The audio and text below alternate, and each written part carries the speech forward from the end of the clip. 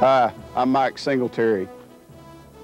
The other Mike Singletary, owner of Singletary's Furniture. Whether looking for the perfect piece or an entire room, Singletary's large inventory of quality brands makes shopping easy. Our friendly staff will gladly assist you with decorating ideas, financing, and free delivery in the area. And everyday low prices and customer satisfaction is always our goal.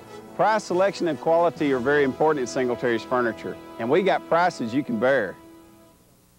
Welcome again to Kangaroo Football 1999. A great victory last Friday night as we traveled to Springtown, the defending District 8 4A champions, a team rich in tradition through the 90s and high school football, been to the playoffs almost every year, and were able to defeat uh, the Porcupines uh, rather handily, uh, 42 to nothing, the final score. Very, very proud of our football team. We talked to them all week about Springtown's ability to hammer away at you offensively and how big they and physical they were up front on defense and just very, very proud of our football team, particularly our, our offensive and defensive fronts for the job they did against an outsized Springtown team. But uh, certainly we were able to uh, move the ball pretty well offensively. And Mark Pierce had another great night. Uh, Zach Moore, Garrett Hudson all uh, turned in really outstanding performances. And of course, that's always due to the men up front, the guys that do the job for us up front. We challenged our football team all week with the thought that to be able to become champions, you have to defeat the, the defending champion. And we were able to do that. And so uh, certainly our, our guys are very confident right now, very uh, excited about uh, what lies ahead. And uh, it was just a great victory for us as we traveled to Springtown. Uh, a few other highlights of, of the game uh, before you get to enjoy it and watch it again. I know that Mark Pierce, in, in, going over 200 yards again and scoring what was his 20th touchdown of the season. And, and uh, again, we we know that anytime that happens, uh, a lot of good things are happening in front of Mark as well as, as him doing an outstanding job for us. Uh, Zach Moore had another really outstanding night rushing the football. We threw the ball a little bit more. Zach threw the ball well. And I think that uh, Garrett Hudson turned in a, a, an outstanding performance, both blocking and, and running and receiving the football. So it was a, another good night for us, a good night of balance as far as uh, all three of those backs being able to rush the football effectively. Uh, we were able also to, to execute well in our kicking game. Uh, Jeremy McClure uh, missed one extra point but uh, hit all of the others and did an outstanding job kicking the football for us. Uh, Garrett punted well. we had a punt return by Colt Borland that was a big play in the ball game for us. Uh, so offensively and, and kicking teams uh, certainly did well, and, and, our defense, man, what an outstanding job the defense did uh, again this week, limiting uh, them to not nearly as many yards as we've been giving up. But the most important thing, the most important defensive statistic always is the fact that they did not get in the end zone this week. Our first shutout of the season, uh, the previous four weeks, I think we had held all of our opponents to one touchdown or, or less. And this week we finally got that shutout that the defense had been uh, wanting so so badly, and, and so very, very proud of the way the defensive team played as well. Uh, not only did we play well uh, against the run, but we had an, an interception, uh, had a couple other big plays in the passing game, and so very pleased with the overall performance of our defensive football team.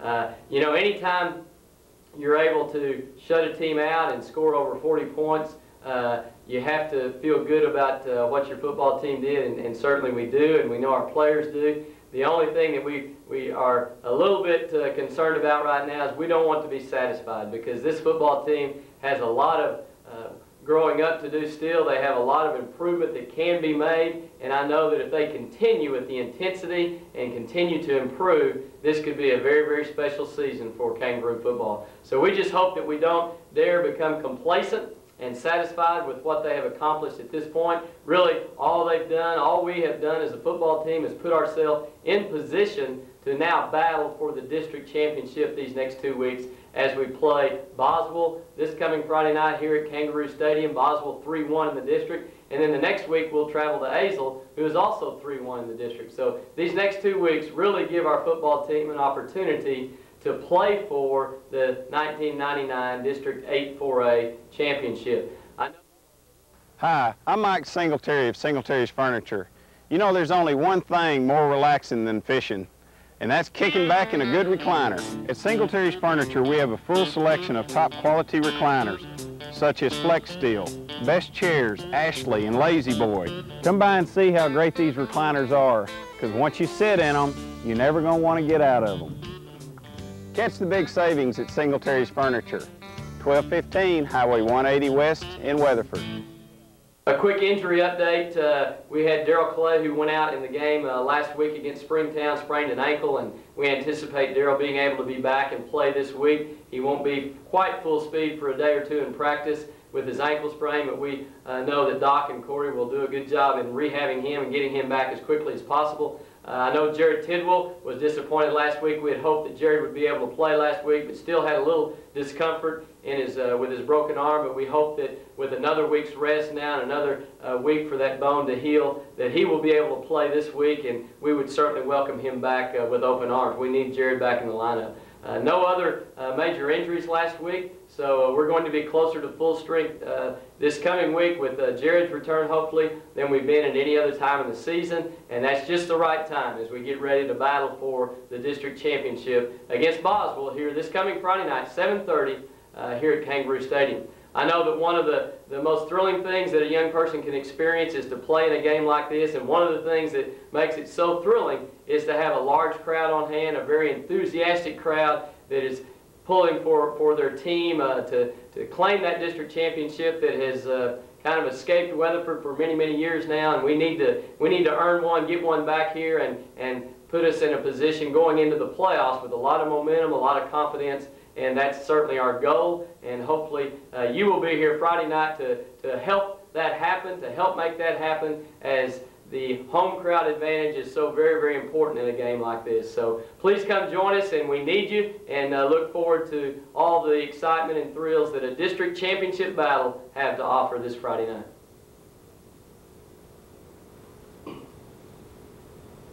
I'm Mike Singletary. Everyone knows I love to rough it in the great outdoors. But sometimes it's hard to get a good night's rest sleeping on this hard ground. I sure miss my Sealy mattress. Where'd you like the new mattress, Mr. Singletary? Just put it in the tent.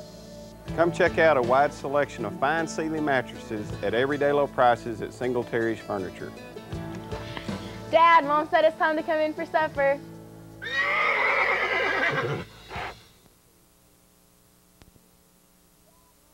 The following is a nothing but sports production.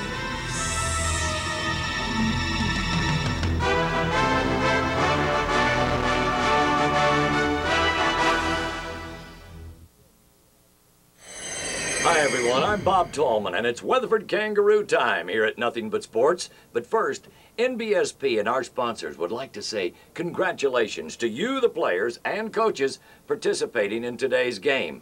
In the spirit of competition, we encourage you to play hard, play fair, and respect your opponent. You'll be cool if you do.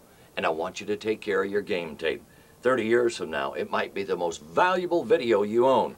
Now, before the battle begins, let's take a look at the teams and the athletes and the coaches coming up in today's game.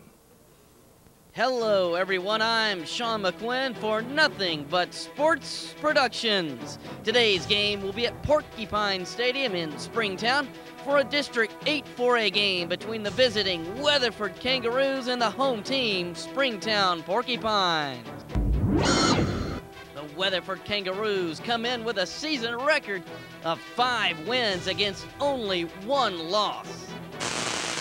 Offensively, the Weatherford Kangaroos average 320 yards rushing per game, 48 yards passing, for a total of 368 yards per game on offense, while scoring an average of 27 points per game. Defensively, Weatherford is allowing an average of 179 rushing yards per game and 121 passing yards per game, while giving up only 15 points per game on the season.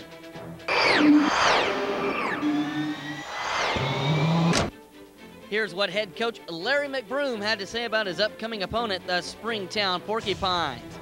He said they have outstanding offensive line play and a big, strong fullback. Those are the strengths of the Porcupines. They also have an aggressive, hard hitting defense.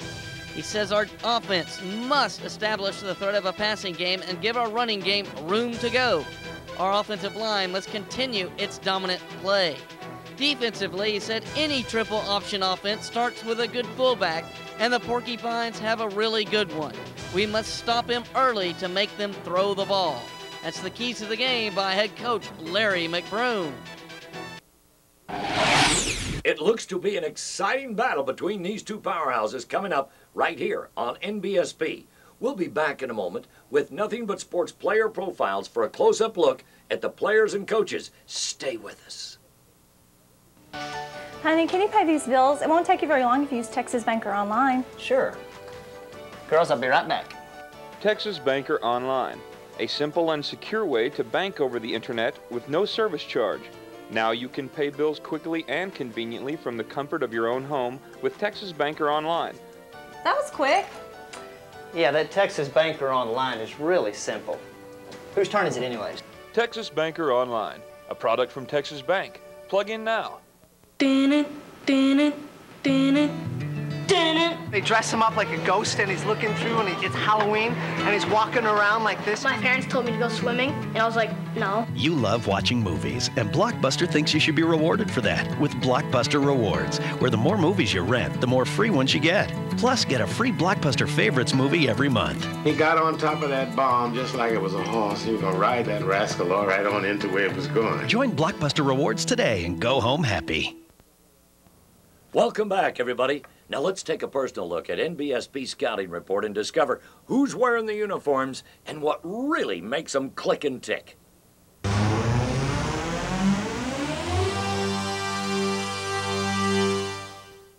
Now let's take a look at Shane Weeks. He's number 22, 5 foot 8, 143 pounds for the Weatherford Kangaroos.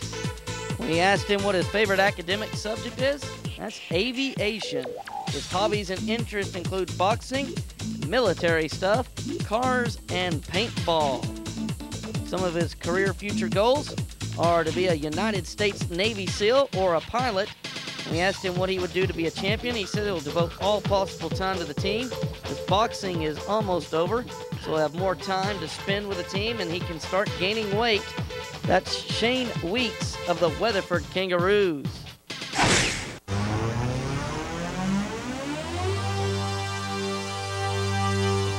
Now, let's take a look at number 45 for the Weatherford Kangaroos. That's Boyd Weaver, 5 foot 8, 175 pound senior. We asked him what some of his hobbies and interests are. He said cars and physical activities. His future career goals in life are to be an eye doctor, go to the Air Force Academy, and then medical school. We asked him what he would do to be a champion. He said, work hard and learn his assignments. That's Boyd Weaver, number 45 of the Weatherford Kangaroos.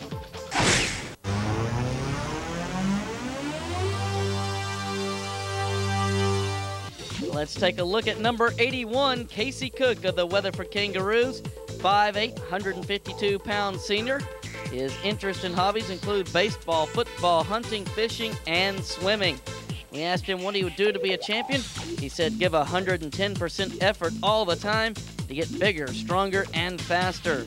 His career goals include going to college and hopefully playing pro ball somewhere. That's Casey Cook of the Weatherford Kangaroos.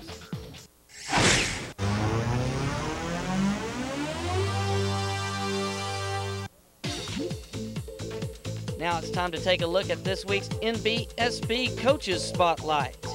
David Beninati, he's the defensive line coach and the tight ends coach for the Weatherford Kangaroos. He was the defensive line coach at Ada High School in Oklahoma for one year, and now he's in his second year at Weatherford High School. In his playing days, he was a two time state champion on the 4A football team at Ada, Oklahoma, a one time state champion in the heavyweight wrestling, and he also competed in the Oklahoma Tough Man Championship. And he also was in the NAIA National Championship game for East Central University. His major in college was history, and his hobby is fishing. His most memorable moment in his sports career as a coach or player well, it was winning the NAIA National Championship in football in 1993 for East Central University. That's David Beninati, defensive line coach and tight ends coach for the Weatherford Kangaroos. Today's game is being brought to you by Texas Bank. With us, it's personal. and by the new car dealers, backing the Roo Crew in 99. That concludes this week's NBSP scouting reports, and we'll be back in a moment on location with the big showdown. Stay with us.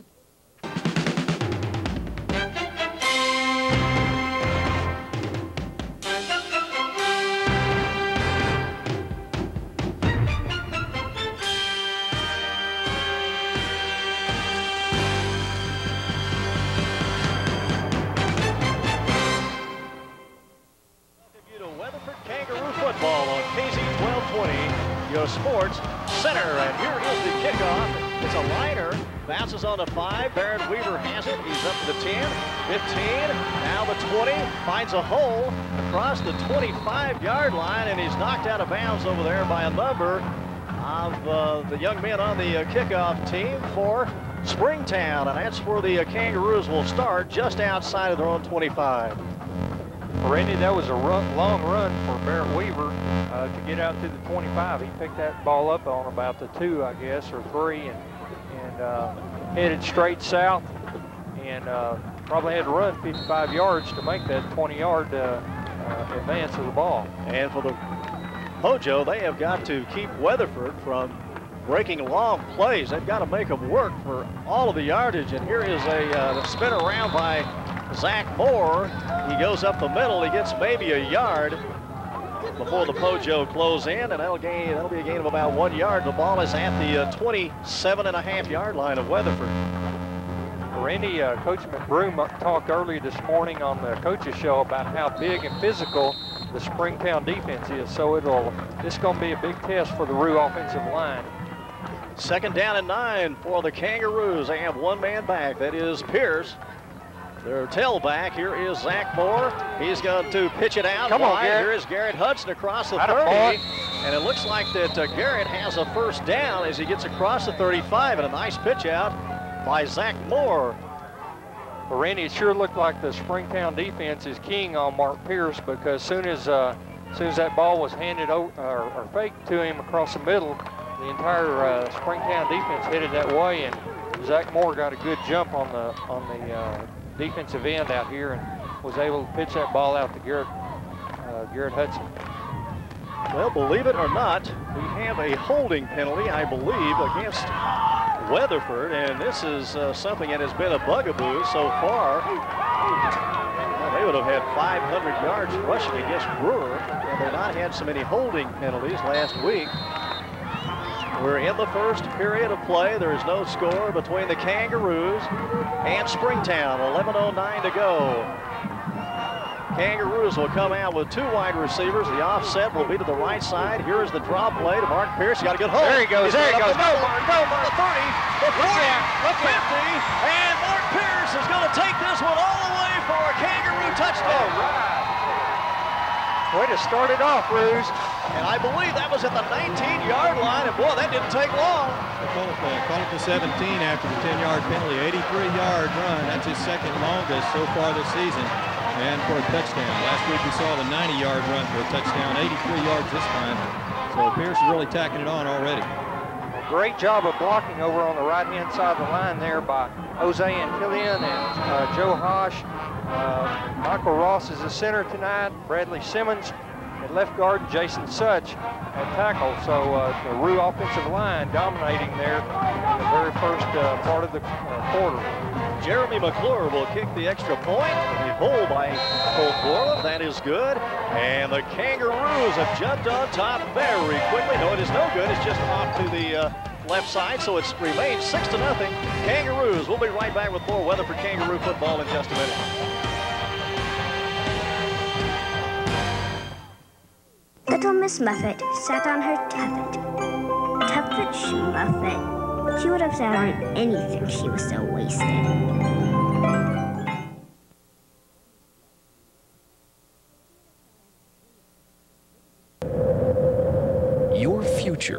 Is a long and winding road.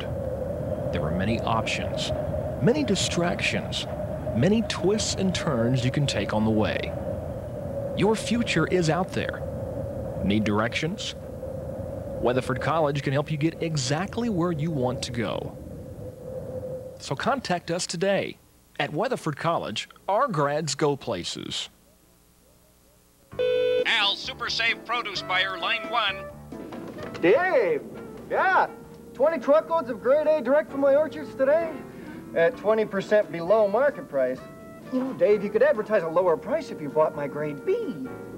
Yeah, but there's not that much difference. But it's good enough for your competitors. 20 truckloads. Super Save's low price gets you the good stuff. Okay, the good stuff. Kangaroos are on top, six to nothing, and an 83-yard run by Mark Pierce on the first possession of the Kangaroos, and they're starting uh, right where they left off against Brewer, Mark. Boy, that was explosive, Randy. Uh, the Roos just uh, had one, one early mistake, and I would say that's overcoming a mistake, wouldn't you? I would say that's a good way to get this game started with uh, Jeremy McClure now ready to kick off. We have seen very good coverage by the Kangaroos all year long. Back deep for Springtown is Ben Overholt, and also Blue Harms is back there. And uh, Daniel uh, Cantwell. And the kick will go all the way back and bounce up in the air around the uh, 15. It's picked up by Overholt across the 20, the oh. 25, and out to the 27-yard line. And a good tackle, I think, Crashing Cashin might have been in on that one. Looked like one of his tackles. Yeah, Cashin Carlisle and Kane Riddle, and then Craig Boning came over the top and just mashed him into the ground. Just a good job by all the Roos. Well, we mentioned uh, that uh, the starting quarterback for the Pojo was hurt in the first quarter last week, and he was such an, a very important part of the the, of the uh, Pojo team, and you have to you have to wonder how they're going to be able to move the ball they do have Brett Mathis in. He's a very good young quarterback, but this is his first experience. Here is a handoff, and this will go to Smith, the tailback. He'll get out across the 35 and all the way up to the 37-yard line. Well, we had number 21, Chuck Wilkie, in on the tackle there, Randy. And uh, Springtown, they just lined up with that uh, full house backfield and just, uh, just everybody went straight to the right. And you know the play that that reminds me of is uh, the plays run in the last quarter by Mineral Wells from their wishbone and veer attack. And uh, that was a blast play to the right side. And what they will try to do, if they think that the Kangaroos are handling that wishbone veer, they will uh, then move right in and start running ISOs. They'll run blast plays. Uh, they will move out into a flex bone ace, and they'll start hitting you with screen passes, drag patterns, draws, and reverses. And uh, that's how they keep you honest uh, and make you uh, work hard to control their wishbone. That's how they've had 400 yards uh, per game average over the last 13 years. But in that same uh, attack over and over, they, they hit you with a lot of traps too, and so you have to play the full field, the entire field from sideline to sideline when you face Springtown. Of course, the Hosses are not there yet this year, but uh, they certainly can be dangerous. Randy, they uh, did a measurement just now on the field. It looks like Springtown was just a hair short, maybe six or eight inches short of a first down. So uh, the Roos need to stiffen up here if they want to hold them three, uh, three up and three down. They have good speed in their backfield also with Donald Smith. Ben Overholt has good speed. Of course, they did lose Zach Webb, who was uh, such a promising back and had shown uh, so uh, so much promise in the first three or four games. He went down with a knee injury. And uh, so the, uh, the injuries, along with all of the, the problems that they already had, and here is a penalty, and that's another problem they've had, uh, along with turnovers this year. And uh, that's going to go against the Pojo as somebody jumped. Yeah, it looked like uh, maybe the right tackle jumped on the uh, line, got just got his body in motion just a half count before the before the actual ball's actually snapped. Kangaroos on defense have allowed only one touchdown over the last three, or is it four ball games? I know they gave up only one touchdown to uh, Castleberry, only one touchdown to Mineral Wells. Randy, uh, right quick, let me give you the lineup out there. We've got Michael Branch on the right side, uh, defensive tackle, Danny Merritt, inside tackle, uh, Scott Safford, and also uh, uh, Jason Such on the left side, defensive end. Brett Mathis Oh, will lead out. Springtown. Here's a pitch out. Donald Smith has it, but he is not going to get much. And he's going to be trapped after perhaps a one-yard gain. Chuck Wilkie was over there, and so was uh, Jeremy McClure for the uh, Kangaroos. They have a six to nothing lead here in the first quarter. We're at 9:40 to go. Randy, uh, Craig Boney did a great job of firing through the line there and uh, caught the quarterback, made him pitch the ball much earlier than he anticipated or, or what he would have liked to have pitched. And uh, that, that gave the Roo chance, uh, the Roo defense a chance to close on that player. Third down and about three and a half. Here is Brett Mathis. Nothing and he sticks it in the fullback's gut. That is uh, Patrick, and just leaves it there. He tried to pull it out at the last moment, but uh, he couldn't uh, couldn't get it out. He was up there close to the point needed for the first down, and he got it right at the 39. It didn't look like that Patrick had that much yardage. I think he got a pretty generous spot on that ball that time. And it will be first down for Springtown from their own 39. The Pojo losing last week to Northwest. And we'll give you some other uh, reasons that the Springtown team is not where they uh, thought they would be at the beginning of the season. And uh, Oh, throughout oh, this first quarter. boy. Get And here get him. is a nice hit. Oh, the uh, Kangaroos totally stuffed the left side. This time Mathis gives it to Patrick. They both get tangled up, and then in comes storming in is the right side of the uh, Kangaroo defense, and that's going to be a loss of about four yards. Randy, there was just nothing but white shirts surrounding the fullback and the quarterback, and the quarterback was trying to pull that ball out uh, and uh, wasn't having very much success. So we're going to see the nickel package come in here for Weatherford with a, uh second down and about 15 yards to go. Pojo will come out this time in the uh, flexbone ace formation. They'll have one man to the right side. Brett Mathis is the quarterback. This is his first try. And there's a pass that is complete. This is to uh, Jeremy Richardson, and he's got it out at around midfield. It was just a little uh, look-in pattern. Caught it at the 45, and uh, Richardson is able to get it all the way out to midfield. Well, that was a good, good pass by the quarterback. Uh, real quick. They didn't uh, have to do a lot of pass blocking there. They just uh, gave him just enough time to get that ball in the air, and the receiver made a good catch on that. 8.02 to go in the first quarter. The Porcupines are at midfield, and this time it is the uh, wishbone. They have one receiver to the right side, and Mathis will keep the ball and get about two yards as he gets to the 48 of the Kangaroos. Randy Jason Such, the defensive left defensive tackle for the Roos that time, just did a great job of closing in on the fullback and uh, took away that option. Quarterback didn't have anything else that he could do other than just try, try to lunge forward for a couple of yards. Springtown does have some good size across the front. But as we mentioned, they, thought that their best lineman was Quintana, and Quintana was hurt in the first game of the season, and he'll be out all year. They are missing him. And of course, their middle linebacker, Jake DeGear, who was all district for two years, he tore his ACL rodeoing and is just now beginning to come back. And Mathis will lead them to the line of scrimmage, and we're going to have uh, a delay of game against Springtown right here. And that'll move them back five yards. Well, Randy, sometimes when the coaches are sending in a passing play, it takes a little longer to call, and that may be why Springtown had that delayed game call. So they've had two five-yard penalties here in the first two series. 7.01 to go in the first quarter. The Kangaroos are leading six to nothing. Well, we need to uh, button them up right here. And it'll be the flex bone ace with two receivers out. Here is Mathis. He's going to go back to pass. And now he throws one downfield. And it's going to be intercepted at the 35. This is Go, Barrett, Barrett. Weaver. Go, Barrett, go. He's back to the uh, 45 and then flat Oh. right there at the 45-yard line. And that is the fourth interception of the year for Barrett. And he was sitting there waiting on that one, Mark. Now, Randy, what did I tell you in Mineral Wells? You just don't throw that ball at Barrett Weaver. I'm telling you, he's just like Deion out there. And you just don't throw it over there. That was a great job by Barrett. Know, Barrett certainly has had the ability to make the big play. And, you know, a lot of defensive backs, Mark, they can be there, but they can't make the interception. And uh, Barrett Weaver's one, if he's there, he's going to get his hands on it. He's going to bring it back on you.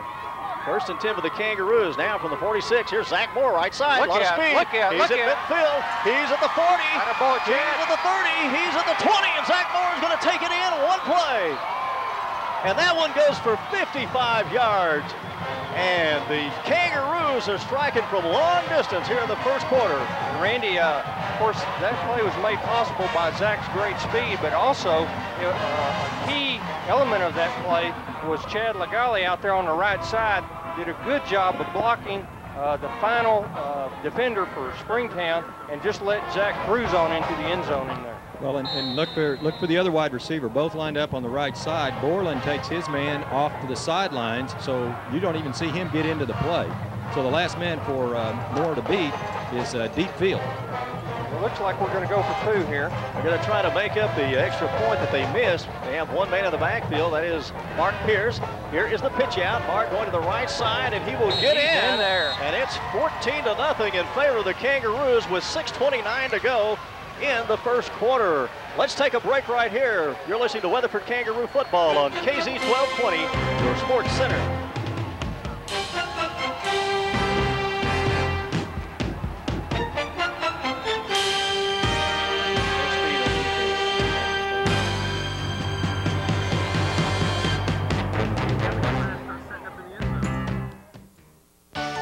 Honey, can you pay these bills? It won't take you very long if you use Texas Banker online. Sure. Girls, I'll be right back. Texas Banker Online, a simple and secure way to bank over the internet with no service charge.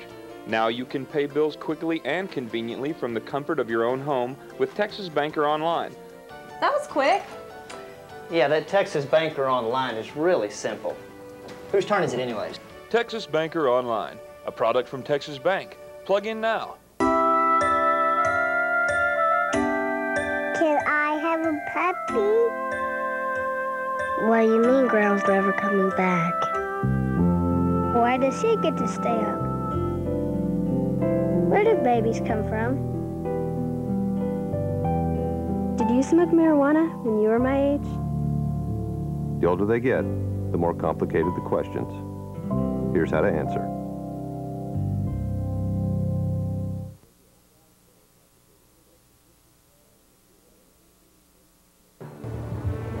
Hello, I'm Don Cressman, candidate for District Judge for the 43rd Judicial District of Texas. I'm here today to ask you to do two things. First, I want you to support the Weatherford Kangaroo. Second, I want you to vote for me on the March 14, 2000 primary for District Judge. Thanks a lot.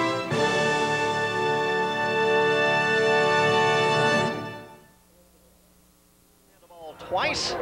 An 83-yard run by Mark Pierce, and then a 55-yard run by Zach Moore. And uh, right now, Mark, it looks like that the Kangaroos can do just about anything on offense they want to do, and also they're jumping on this team that doesn't have any confidence right now. And you mentioned this a moment ago. That is the way you want to start the game against a team that's psychologically down. I think Freaking Drew's got to be excited. Four plays and two touchdowns. Can't beat that deal. Here's Ben Overholt. He has the ball at the five on the kickoff. He's at the 10. Oh, and he won't get much as he tries to get inside Shane Weeks. And Shane Weeks and also Andy Cope say no. And down he goes around the 12 or 13 yard line of the Pojo. Shane just decided he was going to be the first one down. And I mean, he got a hold of him and put him on the ground. Springtown's got uh, Delgado in there who weighs about 280. They also have Salas. He's about uh, 260. Heath is somewhere around 250 and 60 pounds. They do have a pretty good sized line, but uh, they don't appear right now, uh, Mark, to have the speed on defense that we've seen from these Springtown teams over the years. Well, and of course, uh, Weatherford's got exceptional speed this year, and those two items uh, really glare as you, as you watch the game. Here's a handoff Oh. inside. This will go to Michael Crawford, and Michael Crawford has had injury problems. He was out some last year. He's a 4-5 man. They are they do have the speed in the backfield with Donald Smith and also Michael Crawford. That was a good tackle in there by Jeremy Day, and then also Daryl Clay came in and finished that tackle off. Uh, Daryl's a hard hitter. He really put a lick on the back that time. It was a gain of about five yards. So second down at five. Springtown with the ball. They're at their own 17.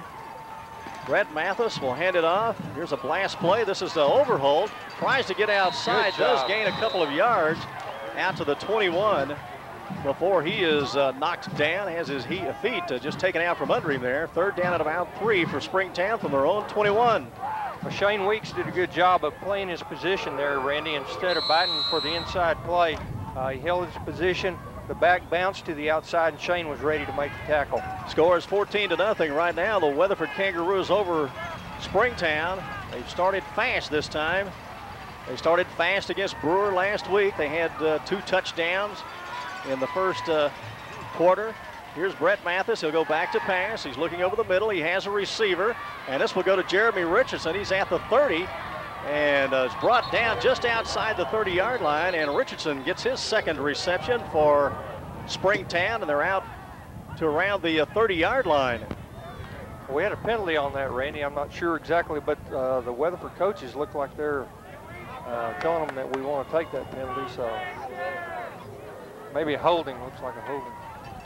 Well, that broke up, uh, broke open extremely well for Springtown. Uh, Richardson was right in the middle of the field, about uh, 10 yards uh, from the line of scrimmage. He was wide open, and this is certainly going to hurt Springtown. They don't need this right now. They don't need to get any further behind this early in the game.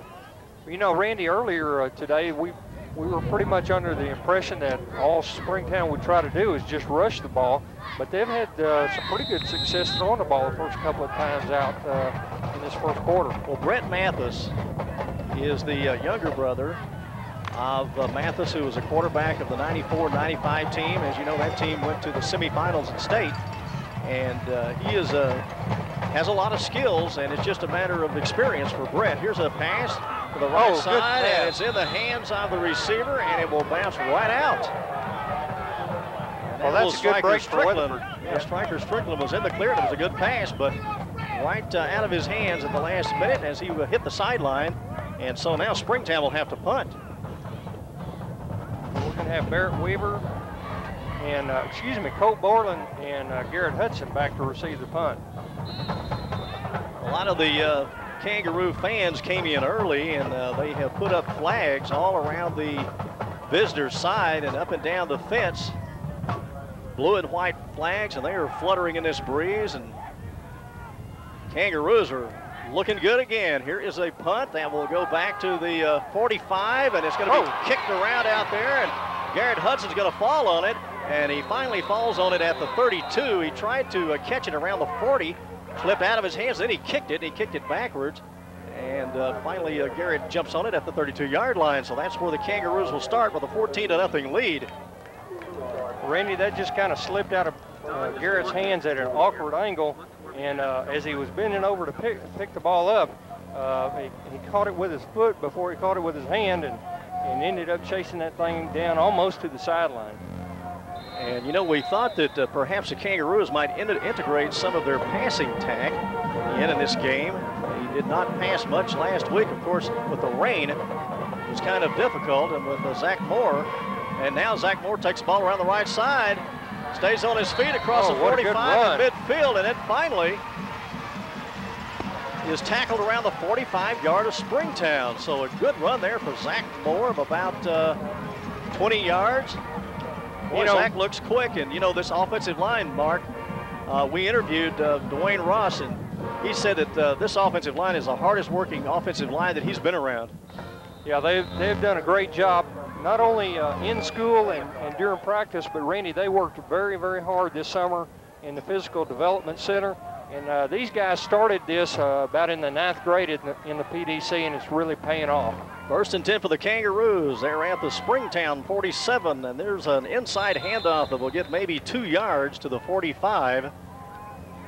And the way things were thrashing around in there, you have to think that was Mark Pierce. Yeah, that was that was Mark Pierce.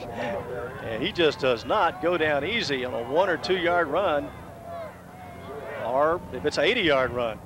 Well, Randy, you were talking earlier about the Roos going ahead and uh, working on their passing game some, and looked like that previous play that uh, Zach was uh, planning on passing that ball, but McBr- uh, Coach McBroom's been real happy with Zach's, uh, Zach Moore's choices about when to run and when to pass this season. 3.33 to go in the first quarter, and here is Pierce with it, and he is fighting for yardage, and He'll be stopped after a gain of about two at the uh, Springtown 42 and a half.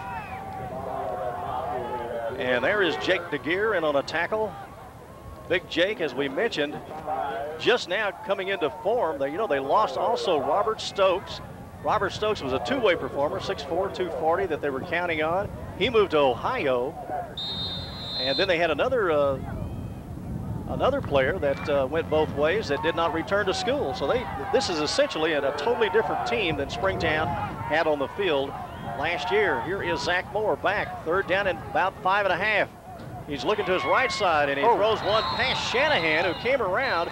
Shanahan was a flanker on the right side, or he was the uh, the fullback in that formation. He was right back uh, by Zach, and he went around, and Zach tried to hit him on a, uh, a, a, little screen slide pass, and it went right past Shanahan. So fourth down and about six, and the Roos will uh, go back to punt. Well, uh, Springtown had that pretty well smelled out, Randy. They had a blitz coming in from that right side. Zach didn't have it uh, much choice other than, to get rid of the ball pretty quick. Garrett Hudson will be back to punt at his own 45. Here is a good snap, and the kick will go straight up in the air. I mean, way up in the air. Here it finally comes down, hits at the 20-yard line, and gets a, a, kangaroo bounce down to the 14. And there, Kane Riddle downs it. 2.35 to go in the first quarter. The Kangaroos are leading Springtown by the score of 14 to nothing. Mark, any surprises so far? Well, I think uh, I am surprised at how uh, much quicker the Roos look out there, both offensively and defensively, than Springtown does right now. Uh, our line is coming off the ball a lot faster than they are. And of course, our backs, uh, both defensively and offensively, are getting to uh, getting to the line of scrimmage a whole lot faster than uh, I think the Springtown backs are right now. You know, and a lot of Springtown's problems started back in the spring when Azle came in and raided their coaching staff. They got to Gary Rushing, who had been here 13 years as the offensive coordinator. Oh, and a very play. good one. And there's a nice play. And coming in on the left side was crashing Cashin Carlisle, and he stops him right at the line of scrimmage. Randy, that looked like a bowling ball going through there. Uh, there's three three players coming right at this uh, left-hand side of the field, or as we look at it, the left-hand side of the field. And old Cashin just, he went for the shoelaces on all three of them, and uh, he had a strike. Well, that was Michael Crawford carrying the ball for the Pojo. They'll have a second down and nine from their own 15-yard line. And, you know, they look tentative out there, Mark. They just look like they're kind of going through the motions right now. I'm sure that uh, with Brett Mathis in there for the first time, here's a nice run by Patrick. Heath Patrick, the fullback, will get out over the 20 to the 21 now. Heath Patrick is about 195, perhaps 200 pounds. Fullback. And uh, he's done a good job so far this year for Springtown, been one of the bright spots. Well, we had Keith Such and Craig Boney uh, combining uh, for the tackle on that uh, right-hand side. There was another Roo player in there also. I couldn't, I didn't get the number on that, but uh, uh, the Roo's doing a good job of not tackling the run room with just one player. Uh, they're getting three and four guys on that on that ball carrier. Third down and four. 134 to go in the first quarter. Kangaroo coaches are lined up over there, right at the, right near the yard marker, making sure they've got a good view. And here comes Brett Mathis leading them out from the flexbone ace formation. Here's a pass. This will go to uh, Jeremy Richardson again. And this is the third reception for Richardson as he does a little hook pattern up around the uh, 27 or 8 yard line. And that will be enough for a first down. I mentioned the uh, Kangaroo uh, coaches a moment ago, Mark. When you look over there, you can see the lights on a lot of heads. That there's not a lot of hair on top. and you know, I don't know if that's just something that happens to you if you're coaching for the Kangaroos, but the, for, they seem to have a problem. Some uh, of the problem I know is by choice, but I think some of them over there just can't do anything about it. And they ought to take Beninardi and shave his because he, he looks out of place on that sideline. looks like a hippie, doesn't he? oh, there you first go. Down play and in a backfield, being trapped is Smith, and I believe that was uh, Jeremy McClure. Yeah, Jeremy McClure uh, dodged one uh, blocker and uh, got his head across a bow there and took the runner down. Didn't let him gain any yardage at all. Actually lost a yard on that. Jeremy McClure has made one big play after another all year for the uh, Roo defense. Looks like we are uh, bringing our nickel package in here on second down. It will be second down and about 12 yards to go. Springtown is at their own 26 and a half. They will come out in the wishbone with one receiver to the right side. And here is a uh, blast play to Donald There Smith and a nice tackle coming in. This time is Kane Riddle in the tackling. Again, very good for the Kangaroos. Well, Randy, I was watching the Roos warm up some today, and uh, they spent, I don't know, two or three minutes, even in warm-ups, working on form tackling. And uh, they've just done an excellent job defensively of uh, form tackling this year. You know, and some of these holes look like originally they're opening opening up pretty well, but the first person that comes along makes the tackle for the Kangaroos. And Pojo totally stymied. Right now it's 14 to nothing. That's the end of the first quarter. We'll be back with more Weatherford Kangaroo football right after this.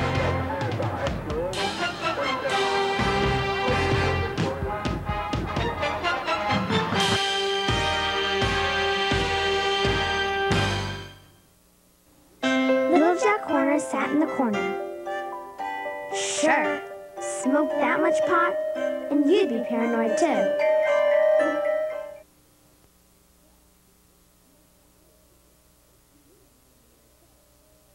In the early days of Parker County, the courthouse and square was the focus of activity. Education was important. The first high school was built in 1885 on the north end of the block, now occupied by the City Hall. The White Junior High was constructed on the site of the old Central High and was used until the new South Main School was available.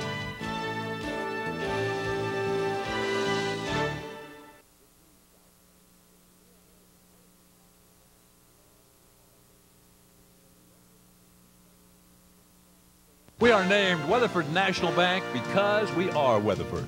From the rodeo to the Peach Festival to Christmas on the Square and everything in between, you'll find us there sharing in the rich heritage of Weatherford and Parker County.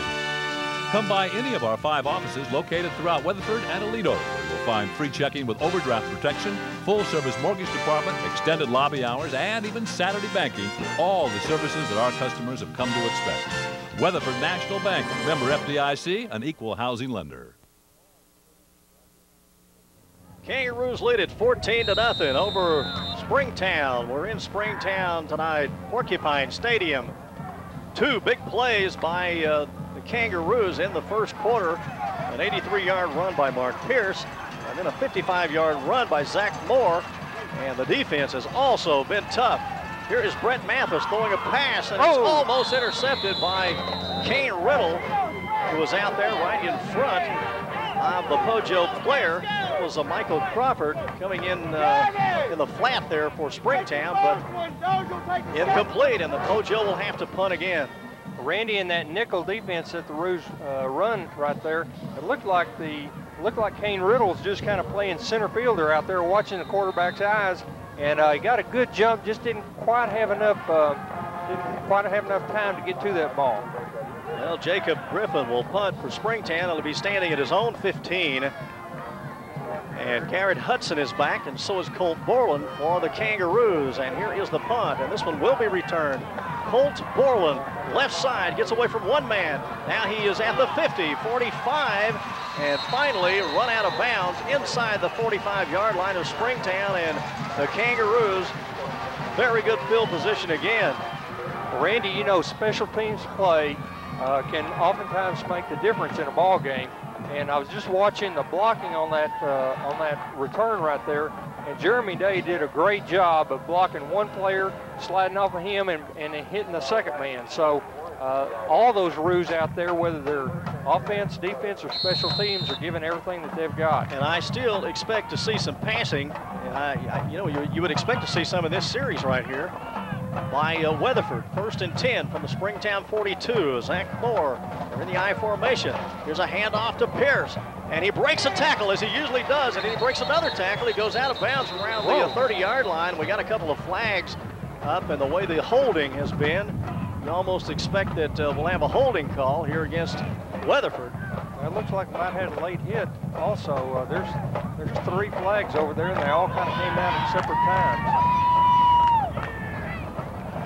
And you know, we've got to give, but well, I'm looking right at uh, Don Legale here. We've got to give Chad Legale a pancake block on that 80-yard run last week, week by uh, Mark Pierce. because he flattened the defensive man on that side. It was also a good block by Antillion on the uh, linebacker. And uh, then I think it was uh, Joe Hash on that side. He made a good block. He curled around and got the defensive end. And then Garrett Hudson came up, and he just helped the, the uh, strong safety who came up on the left side. Garrett Hudson just pushed him inside, and uh, they opened up a huge hole. And then Mark Pierce gave that little head fake. You know, he is a good faker. Some fakes are not fake, but his fake looks real. First and about 18 yards to go. Here's Here a pass go. on the right side Get out there, Borland. He'll get some yardage. Good The job, 40. Chad. Now the 35, cutting inside, and then finally down out around the 32-yard line of Springtown, and that's a gain of 17 yards. Randy, you know, last week uh, when Zach Moore had to uh, sit out some the second half, uh, Colt Borland came in and did a great job at quarterback for the Roos and showed quite a bit of speed, had, had several good long runs there. And as he caught that ball out in the flat, uh, he showed a he showed a lot of speed there. And Chad Legali did a good job of getting him about another three or four yards. Northwest and Boswell are playing tonight. That will be a very important game. In 8-4A, we'll give you some scores after a while. Second down and one for the Kangaroos. They lead it 14 to nothing. We're in the second quarter. Here is Mark Pierce, and he will dive across the 30 down to the 28-yard line of Springtown. That will be a first down. And Springtown having a lot of trouble stopping this Kangaroo attack.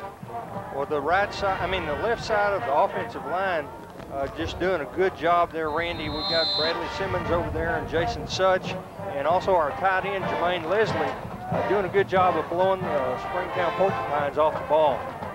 First and 10. The offset will be to the right side. There are two receivers out for Weatherford. Here's Zach Moore. Look out. Big hole left side. Darts through at the 15 and down to the 10-yard line. And here is another flag. And this time you believe it's going to be against Weatherford. And boy, I'll tell you, the flags, when they come against the Kangaroos, Mark, it just seems like they come in bunches. Well, they have, but uh, Randy, the majority of these flags, I got to believe, are, are primarily based on effort, and uh, they're not they're not just dumb uh, fouls so much as as the guys are they're doing everything that they can, and sometimes when you get your your hands outside of your the frame of your body, they just almost automatically call that, and. Uh, I'm not so sure that the refs aren't looking for a little something to call right now. 10-19 to go in the second quarter. And this one will come back to outside the 30-yard line. They'll mark it at the 32. And the Kangaroos will have a first down and 15. But you know, even even when the Roos do have a penalty like this, Randy, you still have the feeling like they're fixing to do something special. So uh, every play, you you just kind of feel like the Roos are just about to explode. So explode. do you have the feeling, Mark, or not? well, I've just had the feeling about the whole game. First and 15 for Weatherford. Zach Moore's back. Here's the draw play to Pierce right up the Atta middle. boy, atta boy. 20. He's at the 10. There's one man to get him. He breaks that Look tackle. at He's that. going in. Look at that. Oh, and he was like a runaway train that time. And Mark, when he got ahead of steam, I would not have wanted to be a Pojo player with, Mark Pierce running that hard. And he did run over the last man. It's 20 to nothing. And a 32-yarder by Pierce. And it's beginning to pile up for Weatherford early tonight. Well, and the, the line just doing a great job there, Randy. They they're opening some wide holes. Uh, the the uh, receivers are blocking hard downfield. Uh, uh, Garrett Hudson doing a good job of blocking. Here's the extra point attempt. It is up, and Jeremy McClure will send that one through. It is 21 to nothing. Weatherford over Springtown. We'll be back with more Kangaroo football in just a minute.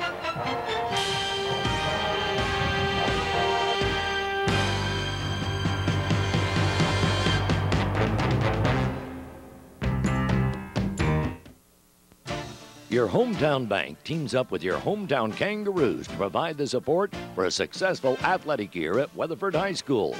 Texas Bank, a proud sponsor of the Kangaroo Stadium scoreboard, the sports medicine John Deere Gator, and the new athletic training complex. Texas Bank makes the commitment to our student athletes to place them in the winner's circle.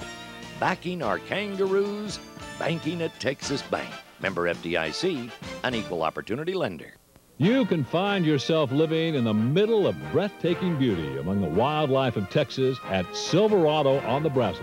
This upscale, low-density equine residential development has a world-class arena, 200 box stalls, and professional trainers on site. Spectacular building sites in the Brazos River. Boating, hiking, trail riding, and coming soon, an 18-hole championship golf course. To choose your beautiful home site, call 817-341-7770.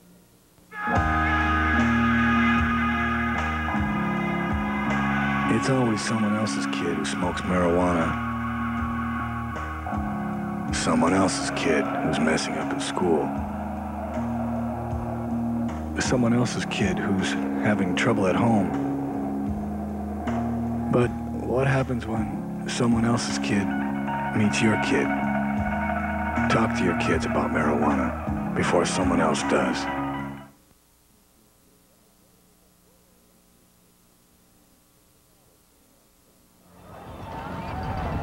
Well, Jeremy McClure is about to kick off again. And this is the third time already in McClure. You know, his leg is probably getting a little tired. Hey, well, Randy, let me let me jump in here a second. I'm the third guy in the booth here, one of the other voices for the Roos this year. But uh, the, the, field position has been a big factor in this game. Sure, the Roos are, are running terrific, but uh, unfortunately for Springtown, they're starting uh, down on their own 13-yard line, down on their own 14-yard line. And unless they can get some breaks on field position, uh, it, it's really going to be a long night for them because a long, sustained drive against this uh, against this Roo defense is going to be very hard for Springtown to accomplish. Well, and the uh, Kangaroos are not letting them recover at all, and uh, they're staying on top of them, and that's what uh, the Kangaroos needed to do in this game. Here is the kickoff, oh, and it will go back that. to Overholt, and he'll have to down it in the end zone, and he does, as it uh, got away from him. So the the Porcupines will start at their own 20-yard line. Well, we got uh, Daryl Clay. Looks like he got banged up a little bit on that, but he's limping off. 9.44 to go in the second quarter, and the uh, Weatherford Kangaroos 21, Springtown nothing. And the uh, Pojo will start at their own 20-yard line. Michael Branch is at the right defensive end. Danny Merritt's in there, right defensive tackle, and there's Safford, left defensive tackle, and then uh, Jeremy Day on the left side as the defensive end for the Kangaroos. Here's the wishbone formation for Springtown. Hand off. This goes to uh, Overholt. He'll have about five yards as he makes it out across the 25. And Springtown, uh, you know, if they're going to get back in it, they're just going to have to hold on to the ball. They're going to have to make sustained drives, and obviously they cannot let Weatherford get that ball up around midfield the way they've been doing it. They're just lining up in the backfield and uh, not much uh, deception or uh, finesse about the way they're playing right now, Randy. They're just they just run one side or the other with all the backs. Well, with Anthony Hare out of there, they're just running a basic, uh, a basic uh, ISO and a basic blast against uh, each side of the Kangaroo line. They it on one side and they it on another. And they're just keeping things as simple as possible here for Brett Mathis. Well, boy, Jason, I mean, uh, Scott Safford did a good job there along with Keith Such of just uh, clogging that play up, didn't allow the Springtown Porcupines to get any yardage on that play.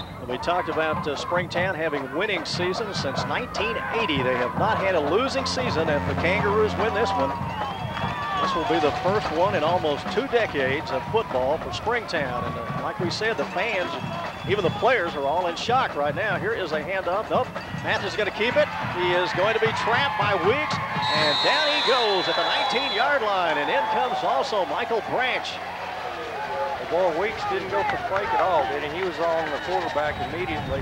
Uh, as soon as he saw that, that that ball wasn't being handed off, he did a good job of just kind of holding him up there for Michael Branch, who came in and finished that play off. And that was a naked bootleg by uh, Mathis, and had he got around Shane, he would have probably had good yardage. But Shane Weeks is a very heady little player. Randy, there's no worse feeling than have the ball and be being held up by a defensive player for another one to come in and take a shot at you. Jacob Griffin will punt it. 40-yard line. 45, and it will go out of bounds on the Springtown side at the 47. And again, we're going to see the Kangaroos out there in very good field position. Don, that uh, uh, that field position plays right into your comment earlier about uh, how fortunate the Roos have been to start with a short field to play. And uh, here, Springtown, I think that 20-yard, starting at the 20-yard line, was their best field position so far. You know, we thought we might see uh, Jared Tidwell back in in this game. He uh, broke his arm. He has a cast. They have to put a big foam uh, covering on that cast, and then it has to be approved by the officials before he can come into the game. And the way things are going, they probably just won't risk Tidwell. Here is Zach Moore cutting inside a one man. He'll get down to the 40 yard line as Jake DeGear tried to make the tackle. And that uh, Jake DeGear is an outstanding linebacker, but like we said, he he did tear up his ACL uh, on the rodeo circuit and did not uh, start early and is just now beginning to come around uh, to form. Randy, earlier in the year, the Roos had several fumbles uh, from carrying the ball a little too loosely there. Uh, that play, uh, Zach Moore did a good job of wrapping it up as the linebacker came up to hit him. Second down and three for the Kangaroos. I formation. Mark Pierce has it. Somebody has him by the ankles at the line of scrimmage, but he drives forward for a, a, couple of yards. It'll be close to the point needed for the first down, and that was a Mark Leith in on the tackle for the Porcupines. We're at 6.42 to go. We're in the second quarter. Weatherford is on top, 21 to nothing. And now's a good time to do a good play action pass, Mark. That's my prediction. How about you? I'll go with whatever you call, Randy. Third down at just a yard. Kangaroos have been moving the ball. They have to feel good that they can get that yard if they need it. Let's see what they do. Offset will be to the left side. That's Garrett Hudson and uh, Mark Pierce in the backfield. Here is Zach Moore. He's going to sneak it, and he'll be close to the first down. I'm not sure if he got it. Good surge there by the uh, Springtown interior. Well, Randy, you got to feel as as uh, as uh, good a job as the Roo offense has done so far. Uh, even this close, if the Roos haven't made it, you got to believe Coach McBroom would go ahead and go for it on fourth down. And I want to see that pass to Jermaine Leslie. Last week I called him Jermaine Giles. Is there a Jermaine Giles around? Somebody. I, am not Don, sure where you no, got that. Well, okay. Anyway, Jermaine Leslie. I still want to see them throw a quick pass to Jermaine Leslie. Little slant in. He's not a he's not a 42 either, but, uh, I knew you you'd made bring him up up. in basketball last year. So Uh, no, Thanks. are you, are Thanks, you looking Mark. for uh, you looking for Cliff Giles to get back on this team after his go. senior year out last year? and that's a first down. And the ball is at the 37 as uh, Mark Reeby and I got uh, an opportunity last year to uh, broadcast Kangaroo basketball. They were area champions, or they were area uh, by district champions. They went to the area championship game, and we also did some some uh, Lady Roo basketball. We did Kangaroo softball. I've been looking for a state championship. I had to drop out early with the uh, the Roo, Lady Roo softball team, and I still think they're the best team in the state. I agree. Zach Moore, a pitch out. Here we Here's a go. Here we good go. block. Attaboy, and Colt. here is Mark Pierce. He's at the 30, the 20, cuts inside at the 10-yard line. He's down to the 5 before he's wrapped up. And Mark Pierce, he's just running at will out there right now, doing whatever he wants to do. And Colt Colt Borland just buried that cornerback out there, Randy. He drove him out, just about drove him off the field. Mark Pierce, he already has two touchdowns. I think he came in, Don, with 16. Is that correct? So he has 18. And that will be a first down now at the Springtown five-yard line. 5.39 to go in the second quarter. Kangaroos already up on top, 21 to nothing. And they are looking sharp for the uh, sixth week in a row. Offset I to the left side. They have a strong formation the right Uh-oh. side. Get on it, And there's Zach. a fumble, and Zach Moore will fall on it at the five. Well, we just had a little uh, miscue there between Zach and the center, uh, Michael Ross. And Zach did a good job of getting hold of that ball uh, and not uh, spoiling this scoring opportunity. So it will be, uh, well, they're going to have a uh, penalty called against Weatherford, so that will move the ball back.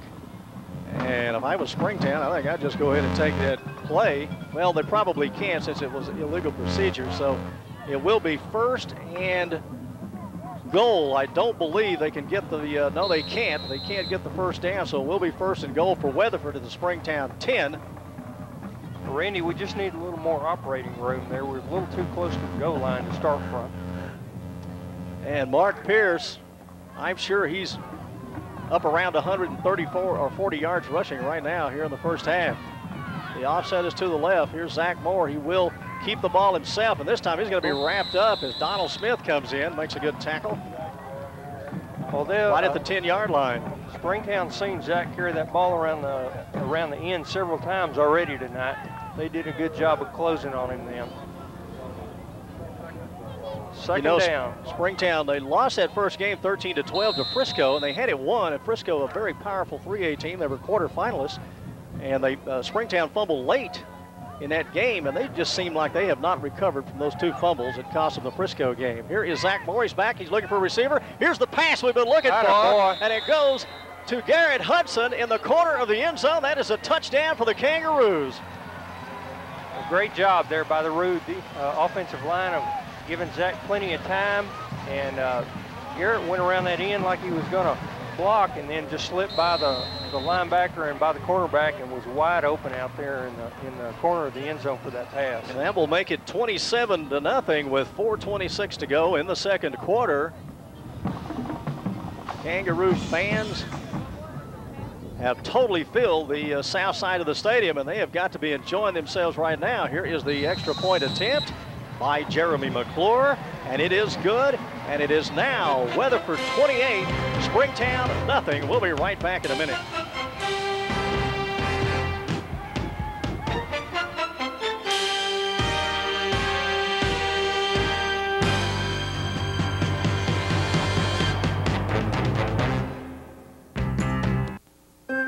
Little Bo Peep has lost her sheep. Well, duh. That's what happens when you get stoned.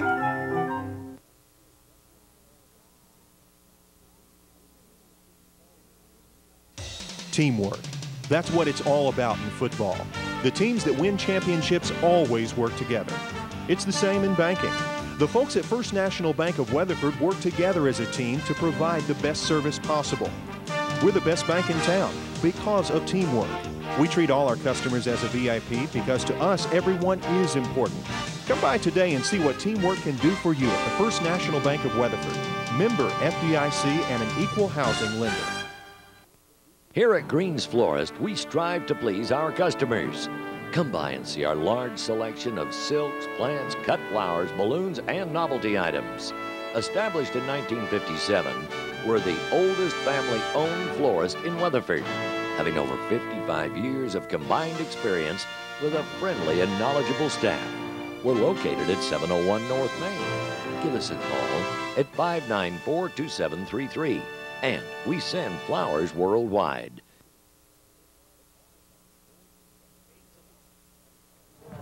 And this time, 10-yard pass. Believe it or not, a pass, Mark Reeby, from Zach Moore to Garrett Hudson. Randy, uh, early on we talked about uh, the fact that this is the kind of game that the Roos could come in and, and be a little overconfident in, seeing how Springtown's been down some uh, earlier this year. And uh, obviously, Coach McBroom and, and his coaching staff uh, have not allowed that to happen. They, they've come out very focused. Uh, they know what they want to do, and uh, they know what their jobs are, and they're doing their jobs, and that's exactly what you want to see. They look very confident out on the field right now. Here is Jeremy McClure. This is a liner to go all the way back uh, beyond uh, Overholt and through the back of the end zone. So with 420, again, Springtown will start from their own 20-yard line. We're in the second quarter. Well, Randy, as fast as the Roo defense gets down on kickoffs, that's probably the smartest play that the return man can make is to let that ball go ahead and be a touchback so that they do get the ball on the 20. I think otherwise the Roos would stop them at the 15 or the 10 or something along those lines. So it's probably a pretty smart play. Hey Randy, uh, just to just to let you know, that first run by uh, by Pierce put him over a thousand yards already for this season and 158 yards just so far tonight. Well, I was just about to mention that the Kangaroos have rushed for almost 900 yards in the last two games, and uh, the way things are going here, they're not going to hurt their average at all, as they have uh, been opening up big holes And you know, the way they manhandled uh, Brewer's defense, here's a, about a one yard run for Springtown, about two yards perhaps, out to the uh, 28. The way they have been opening up holes in the defense with a rather a smallish offensive line is what uh, is amazing to me. Randy, uh, look how many uh, men that we have there up on the line uh, defensively. We've we've got probably uh, seven and eight guys on the in, in, what they call the box in that football in that football language. Right. Second down at about seven. Brett Mathis with the ball. He's going to keep it oh, across the 25, and he's run down from behind around the 28, and this is uh, Merritt over to make the tackle. It will be third down at about two for Springtown from their own uh, 28 and a half yard line. We're down to 3.19 to go in the second quarter. That was a great job of pursuit by Danny Merritt. Uh, the quarterback managed to elude the first tackler of the Roos, and Danny did a good job of just staying after it from that left-hand side. Uh, came all the way across and tackled the quarterback. And Springtown, I believe they expect that uh, Anthony Hare, a uh, regular starting quarterback, I think that he will probably be back in a week or two. He has a bruised patella. Here's a handoff to Overholt, and I believe he does have the first down around the 32 and over to make the tackle is Branch and also Weeks, Orla Mazaire. Chuck Wilkie, as usual, is in the area. Randy, nearly every time one of the Springtown uh, ball carriers goes down, he's got two or three roos piled up on him. So that by itself will wear you down. First and 10 for Springtown, and they have not had many first downs in this game in the first half. Kangaroos are playing very deep in the secondary. Uh, it appears that uh, Springtown is going to pass. They are just keeping everything under the umbrella tonight. Mathis is going to keep it on a, around the right side, and he finds a little hole, squirts through there for about five yards. As they run the midline option, of course, you've got to stop the fullback in the midline option in the wishbone. If you can stop it and string it out, that's uh, the way most defenses try to do it. They make sure they stop the fullback, the man that is shooting upfield on you, and then pressure the quarterback to pitch it out. If you keep getting that quarterback to pitch it out every time, then eventually some good things are going to happen for you. Second down and four. Mathis will keep it this time. He's got some room to the 40 now. He pitches it back across the midfield. There's a good pitch by uh, Brett Mathis at the last second. As coming around from the tailback position was uh, number five, and that's Ben Wright. And I haven't seen a Ben out there before. Was it number 25? It was 25 Blue Harms. And Blue Harms takes that one all the way across midfield. And for the first time tonight, the uh, Pojo around the uh, Kangaroo side at the 49. Well, we had uh, uh, Chuck Wilkie and Craig Boning combining for the stop there. Did a good job of tracking the, the back down. Here's the uh, flex bone ace formation, and we're going to have the uh, timeout called. So let's go ahead and take a quick timeout right here. We'll be back in 30 seconds with more Kangaroo football.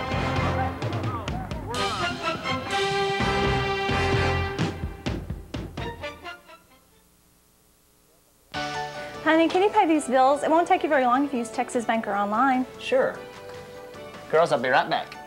Texas Banker Online, a simple and secure way to bank over the internet with no service charge.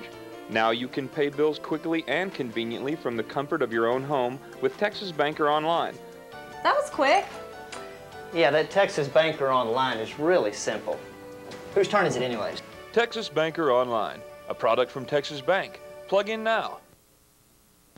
Those who dive lightly into the market today soon discover that when opportunities swim side by side with peril, it is easy to lose all sense of direction. The riskier the investment environment, the more you need the fixed income strategies of Comer Moyers Capital Advisors. Is your investment advisor recommending Comer Moyers for 1999? Comer Moyers, managing money, earning trust. Pete's Place, this is Egan. May I help you? On June the 1st, 1976, it was my opportunity to walk in the front door of the Pizza Place in Weatherford, Texas. At that time, you could get the lunch special, which is a small cheese pizza, a salad, and a drink for only 95 cents. There's been a lot of things that have changed in Weatherford, Texas in the last 23 years, but there's one thing that's always remained constant. The pizza place and the Weatherford Kangaroos have always been a perfect combination. Kangaroos are leading Springtown by the score of 28 to nothing, and they have dominated from the opening gun tonight. Long runs by uh, Mark Pierce and another long run by Zach Moore, then a 10-yard pass from Zach Moore to Garrett Hudson. And right now the Kangaroos are at 3-0 uh, in district play. Now Boswell and Azle are both 2 and 1. And uh, Brewer is hosting Mineral Wells tonight. And Azle and Northwestern, or rather Boswell and Northwestern playing. Here's Mathis. He's got a good hole. And he'll get to the 45, perhaps the 44-yard line of the Kangaroos. It'll be second down and about four as he moves to the right side. Randy, don't you believe that uh, Coach McBroom went ahead and called that timeout just to emphasize to the Root players how important it is not to let Springtown score right before half. And you know, they uh, held Brewer in that first half. Brewer got down twice and were stripped of the ball inside their own 10. Here's Patrick, the big fullback, and he'll get down around the 40-yard line. And with 115 to go, we'll have a, uh, a stoppage of play by the uh, Pojo. Let's give you some scores right now. 28 to nothing, Aledo over Carter Riverside. And we don't have a score yet on uh, Boswell and Northwest. And Azle is taking on uh, Castleberry. And I think that is uh, in, uh, in River Oaks. And then uh, Mineral Wells and Brewer tonight. And, you know, I think that Mineral Wells and Brewer game could be a very good game. Yeah, you would think that Brewer would be, uh, they'd have their stingers out tonight after uh, Weatherford uh, just, we just whipped them every way we could last week. So uh, you would think Mineral Wells is going to have their hands full with Brewer coming over there. See, now I tried real hard to get away from that volleyball game just as quick as I could and get over here for some of the pregame because I wanted to call for the upset. I wanted to call the upset of Mineral Wells over Brewer. Ah. So now, so now don't, uh, you know, if it doesn't happen, well, it doesn't happen. But uh, I think there's a possibility an upset there. Well, we'll see if Don Nagali is a predictor also here. Of course, we'll have to read the paper in the morning to do that. Well, I think that is certainly possible. Mineral Wells, they're just a team that if they if they play well against you and you, you don't make the tackle, they're certainly going to uh, break some long plays. Boy, they do have the size and the speed, don't they? And who's bigger? I mean, Brewer's got a gigantic team. They had some of the biggest guys out there across the line on both sides that we've seen all year. And so that'll be a good matchup tonight. And of course, uh, and Azle are the two that right now the Kangaroos are looking at along with Brewer. Here's a uh, quarterback sneak by Brett Mathis. That will be a first down as he gets inside the 40 and down to around the 37 of Weatherford. We're down to 110. They're going to stop the clock and uh, place it at the uh, 37 and a half of the there's, Kangaroos. There's no doubt that uh, Springtown's picking up a little momentum right here, Randy, and the Roos uh, need, to, need to stop them before they get to the half. They'll go back in the wishbone. Here is uh, Brett Mathis. And uh, oh. he's got the snap. He's going to throw a long pass out there in the flat. And it's uh, going to be over the uh, wide receiver around the 15-yard line. I thought he was going to throw it short, but then he just heaved a long one down the sideline. But that one will be long, and we'll have a second down play for the Pojo at the 37 and a half of Weatherford. Sure had good pressure in there that time on the play by uh, Danny Merritt. Danny doing a good job of whipping his, uh, whipping his uh, man and uh, just almost got to the quarterback. And that was Philip Means down for Springtown. But the pass was long, and now we'll have a second down, and they have one man in the backfield. They'll have two receivers to the left side. They'll have a slot man also to the left side. Here is the pitch out. This will go to Overholt. He has a little room, and he will uh, scamper across the 35, and will be run out of bounds at the 32. And we'll have a third down play in about three yards. Clock is stopped as he went out of bounds with 54 seconds remaining. At the half, I'm going to tell you about the 1947 Weatherford Kangaroos. I think you'll enjoy hearing about them, and we'll have some other interesting uh, tidbits from Weatherford Kangaroo football over the years. As we said, if they win this one, this will be the first time since 1981 that they have had a six-game winning streak. Now, that team won seven in a row. They were tied in a by-district game. So they stopped at seven. Six of the uh, six of the uh, wins were in the regular season, and then they had a, a playoff game as the uh, district that they were in was divided into two divisions, and they had a playoff game, or they had a, uh, a championship game for the district between Gainesville and Weatherford, and then they had a by-district game after that. And so this Weatherford team has a chance to do something that uh, hasn't been done in a long, long time. Here's Mathis. He'll cut inside, get some good Oh, coverage. there you go. And I believe there's That a away, fumble Scott around Safford. the 25, and are they going to call that a fumble? They are. Yeah. It's going to go over to the Kangaroos at their own 22-yard line with 47 seconds left. And Randy, looked like uh, Garrett Hudson was in on the recovery of the fumble, but number 50, Scott Safford, uh, caught the quarterback just as he was uh, trying to make a cut, and Scott just wrapped him up from the back and uh, and forced that ball out of there. And, and here's one more time where the Roo, uh, Roo defense, they bend and bend and bend, but they don't give up the score. And that is exactly what uh, Coach Reed was talking about uh, in his show. The Pojo Huddle this morning kept talking about how that the Kangaroos would give up a little yardage, but that they uh, they would always seem to be able to find some way to stop you. And they've done it against Springtown here in this last drive. We're going to have the kneel down here by Weatherford with 40 seconds to go. It seems like they're kneeling down a little early here, Mark. Well, I imagine Coach McBroom's ready to get uh, back into the uh, back into the locker room and uh, talk with his players a little bit. They'll mark off five yards against Weatherford. The ball is at the 17. Kangaroos are up on top, 28 to nothing here in the second quarter. Mark Pierce adding to his totals. He's already the leading rusher in the area in Class 4A. Here is the uh, second kneel down, and this will run it down to about five seconds, I believe. This is this is one of those situations, Randy, where you don't want to risk a fumble, you don't want to risk a, uh, an interception right down here where, where the uh, Roos are on their end of the field. Uh, you know, an error like that could really turn the game around for Springtown. So McBroom's electing to go ahead and take the knee and and uh, get on into the half with a 28 to nothing lead. And there is the third kneel down by Zach Moore, and that will run it out here in the first half. And it's been all Weatherford Kangaroos. The score Weatherford 28, Springtown nothing. We'll be right back in a minute.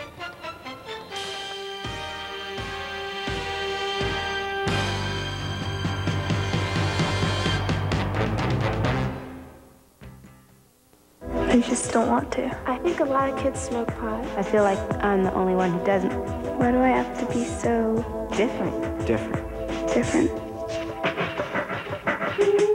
Maybe we're not as different as we think.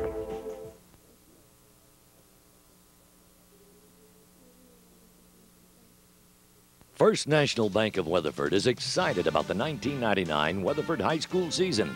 Since 1880, the First National Bank of Weatherford has provided friendly and reliable service to the folks in Weatherford and surrounding area. We wish all of the players, cheerleaders, band members, and fans success in all they do in 1999. Come by and visit with your personal banker at First National Bank of Weatherford, member FDIC and equal housing lender. In the early 1900s through the 1950s, Weatherford was known as the watermelon capital of the world.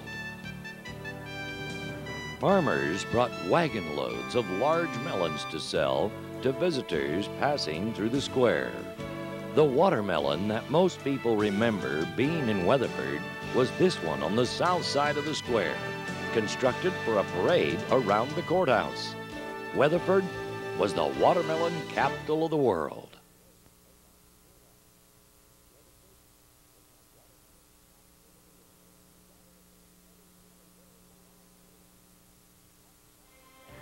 They, they got everything together again. They went over to Boswell. They had uh, lost to Boswell the last three years, although they had beaten everyone else. They had not been able to beat Boswell the last three years. They played the best game they had ever played against the, the Pioneers, and it went into three overtimes, and then they lost it right at the end. And that seemed like that just ripped the heart right out of the uh, Pojo team, and they just have not been able to get back on top again. Here is the kickoff, and uh, it is picked up by Overholtz at the 15. He's out to the 20 the 25, and a nice run back by Overholt as he gets out near the 30 yard line. And the Pojo will start, and they'll be traveling east to west here at Porcupine Stadium.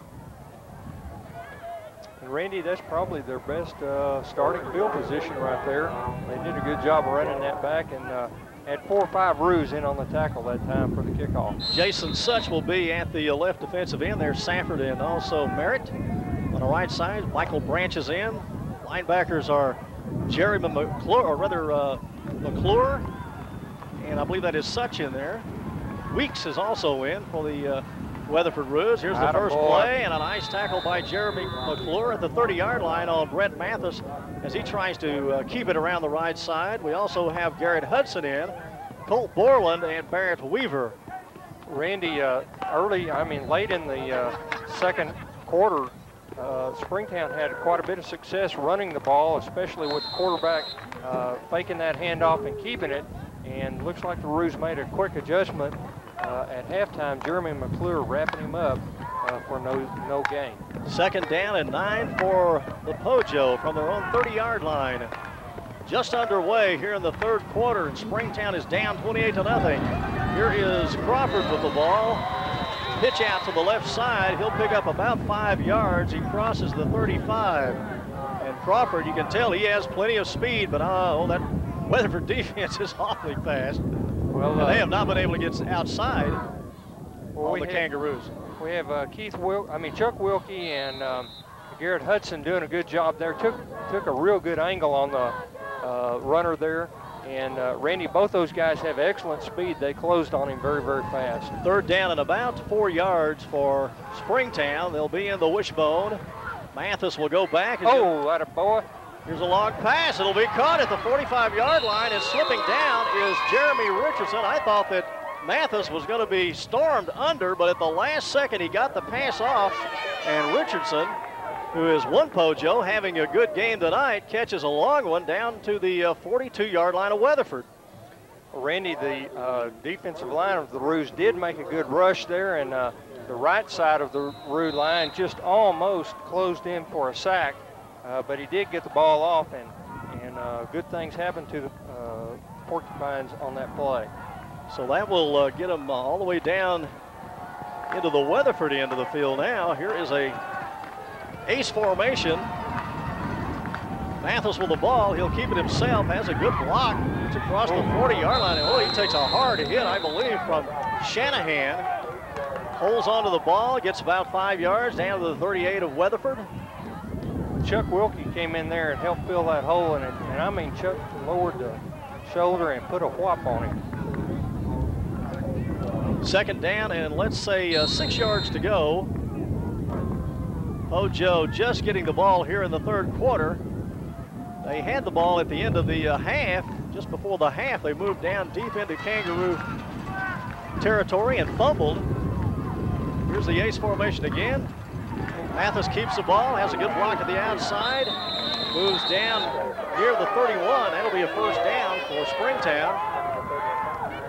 And some good blocking across the front right now by Springtown as they're moving the ball here at the uh, 31 of the Roos. Well, we had uh, Garrett Hudson closing in for that tackle and drove him out of bounds, but he did get enough uh, yardage for the first down. And Randy, uh, the Roo defense is uh, bending some here at the beginning of the third quarter. It's time for them to go ahead and, and stiffen up stop Springtown. First and 10 for Springtown at the 31 of Weatherford. They'll come out in the wishbone. They'll have one man to the right side. Here's a Oh, handoff, good and he is going to be stuffed in the backfield. That will be a loss of a couple of yards. And they're coming in quickly is Branch and also Jeremy Day. Carlisle was back there for the Roos. Yeah, uh, Jeremy Day did a great job of getting in low and uh, getting a hold of the runner's feet. And then uh, Cash and Carlisle just really came in there and delivered a hard hit. And I was just about to mention, are the Kangaroos going to stiffen up right here? Because that's been their nature the entire season. You get down around their 30-yard line and things get tough on you. And the first play in this series, a two, uh, two-yard loss. Here is Crawford to the outside. He slips away from one man, but there comes a good tackle by uh, Chuck Wilkie diving in. Gain of about uh, five yards just inside the 30. And Andrew Shanahan did a good job of hitting him low also there. Wilkie and Shanahan combining on that tackle. We'll have a third down and seven for Springtown. 8.07 to go in the third quarter. And they have taken the uh, kickoff here and Grove from their own 29 to the 28 of Weatherford. Well, this is a play where we need to stop them right here, Randy. There'll be one man in the backfield. That will be uh, Heath Patrick. They'll have two receivers to the left side. Mathis back has a receiver, and it's going to be knocked away at the last minute by Colt Borland.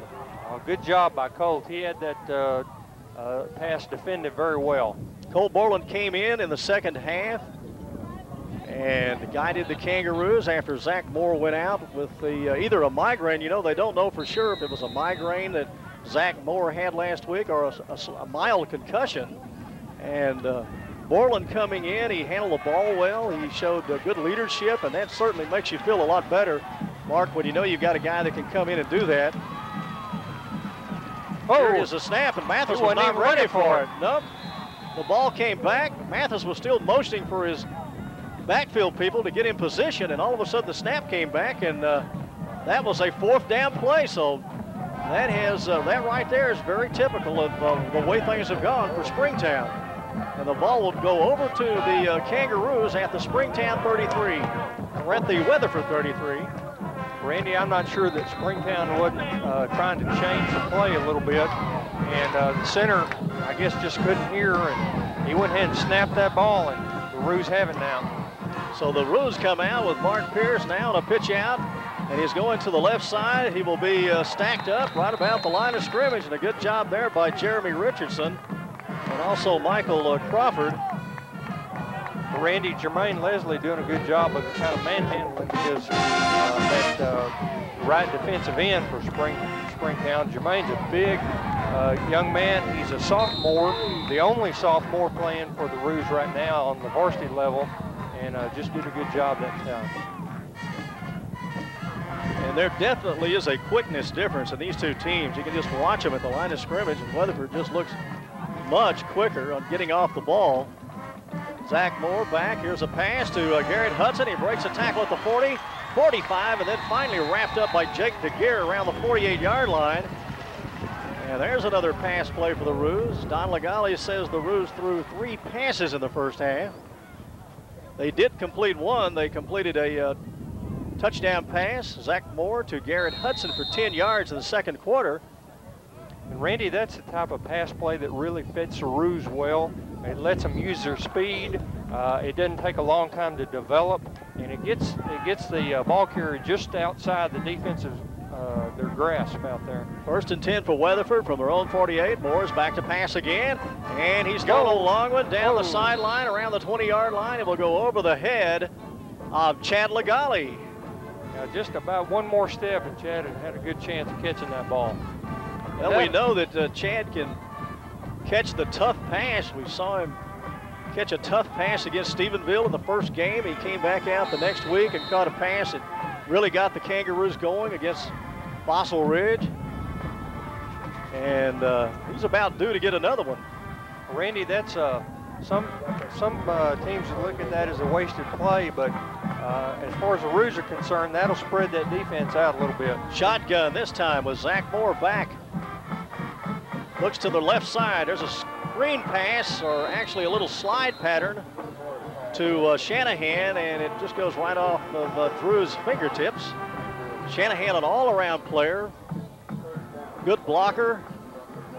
Well, you know, Andrew had a he had a great game. Uh, I'm not I don't remember the exact game it was that uh, Garrett Hudson was out with a flu bug. I think that was the Burleson game, wasn't it? I believe that's right. He had a great uh, punt oh, return, yeah. and then he had a long pass reception. He just played a real good game that time. He's one of those guys you love to have on your team.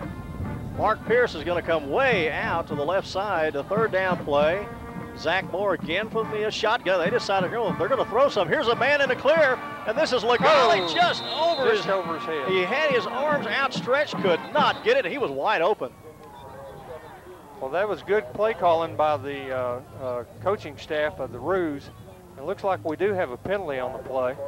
Well, and this will probably be a hold because the Kangaroos are going back. So even had Chad managed to get that one, it would have been called back. but he was wide open. I don't think I've seen a receiver that wide open in quite a while, and he came all the way from the right side. Yeah, that uh, that, that was confusing uh, for the Springtown defense. And uh, Chad was just, he was at a real awkward angle to try to catch that thing. Well, so. you know, the Roos are going to give up the ball right here, but I think that is something, that series right there is something they needed to do. I think they needed to get out and work on some pass patterns, get the feel of it, because eventually, somewhere along the line, they're going to have to depend on uh, the passing game to help them out. Well, and I believe this is uh, either the first or second punt that uh, Garrett's had to make tonight. Here's Sec a uh, punt by Garrett, very high. It hits at the 20-yard line of the Pojo and bounces sideways, and it will be down by Michael Branch. So at the 21 is where Springtown will start. And you're right, that's the first time they have stopped uh, the Roos, I believe, since the first quarter. Yeah, I don't, I don't think that we had it. Perhaps they haven't punted today. Is that right? No, I think we had one. In had one punt. Half. We get one and a half is all we get, Randy's, and we've already wasted one this time. So we've got to score from here well, on from in. here on out, it's going to be tough sledding. They will give no quarter as they cannot punt again. According to Mark Reeby, All we right. have 6.08 to go in the third. Springtown has it. They trail 28 to nothing to the Roos.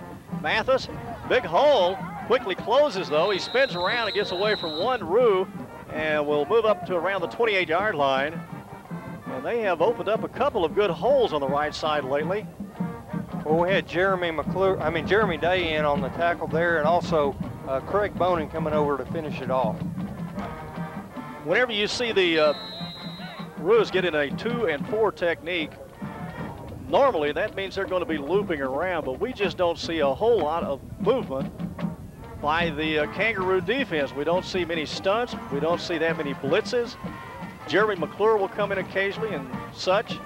Here is the next play. Mathis has a big hole across the 40 and just tripped up at the 45, or he would have been on a long run. It's a first down. A good open field tackle by Chuck Wilkie. And, the Roo defense just a little confused or, or uh, tricked on that play. Uh, looked like they were really stopping or concentrating on stopping the fullback. And the quarterback did a good job of pulling that ball back and uh, went around the left side of the end and for a long run. And they are certainly using the backs inside as a decoy, and Mathis is doing a good job of faking here. First and 10 from the 45 on their own end. And here's Mathis again with the ball across the 45 up to midfield. That's a gain of five yards, and they are effectively operating their wishbone right now. Uh, actually, this is more of a veer as they're moving a little further to the outside on that first fake, if they use it at all. Well, you know, Randy, it's almost like we'll uh, we'll just let them uh, do kind of whatever they want to until they get down to about our 30 and then we'll stiffen up again. Well, so. I think it's it's time to go ahead and stiffen up right now, Mark. Uh, Pojo have looked pretty good on this series. Uh, 4:31 left, second down and four from the midfield stripe.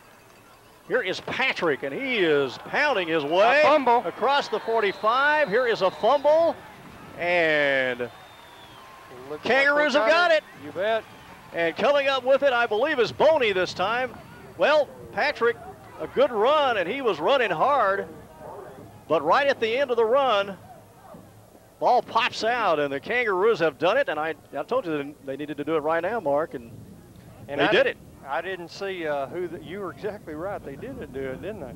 But I didn't see who uh, uh, pounced on that fumble, Randy. But uh, McBroom had described uh, that runner as a as a bruising type runner, and looked like he got to just thrashing, a thrashing around a little too hard and uh, actually wasn't taking good care of the ball. So the Roos have it now with 4.21 to go in the third. And here is Pierce. There Running he goes. hard up the middle. He'll have about six yards. And he gets just across the midfield stripe. And that was a power move right there. That was not the draw play. No, and you've you've got up front Bradley Simmons and Michael Ross and Jose Antillion. They're just doing a good job of, of blowing Springtown back three and four or five yards at a time. And uh, of course, then when Pierce actually gets hit, he'll drag he'll drag the tackler a couple of more yards. And Coach Ross, the uh, offensive line coach, told me that Bradley Simmons is extremely strong. and uh, has been getting a lot better every week. Here's a run around the right side by Garrett Hudson on a pitch out, and he'll get about two yards on this play. Down to the 47 of Springtown. It's 28 to nothing. Kangaroos are leading. The Pojo have come out. They had a, a good drive, stopped the Kangaroos, and then had another good drive going and uh, fumbled. Well, Randy, uh, last week against Brewer, we saw the Roos run quite a few counter plays with uh, Garrett Hudson. We haven't seen that so far tonight.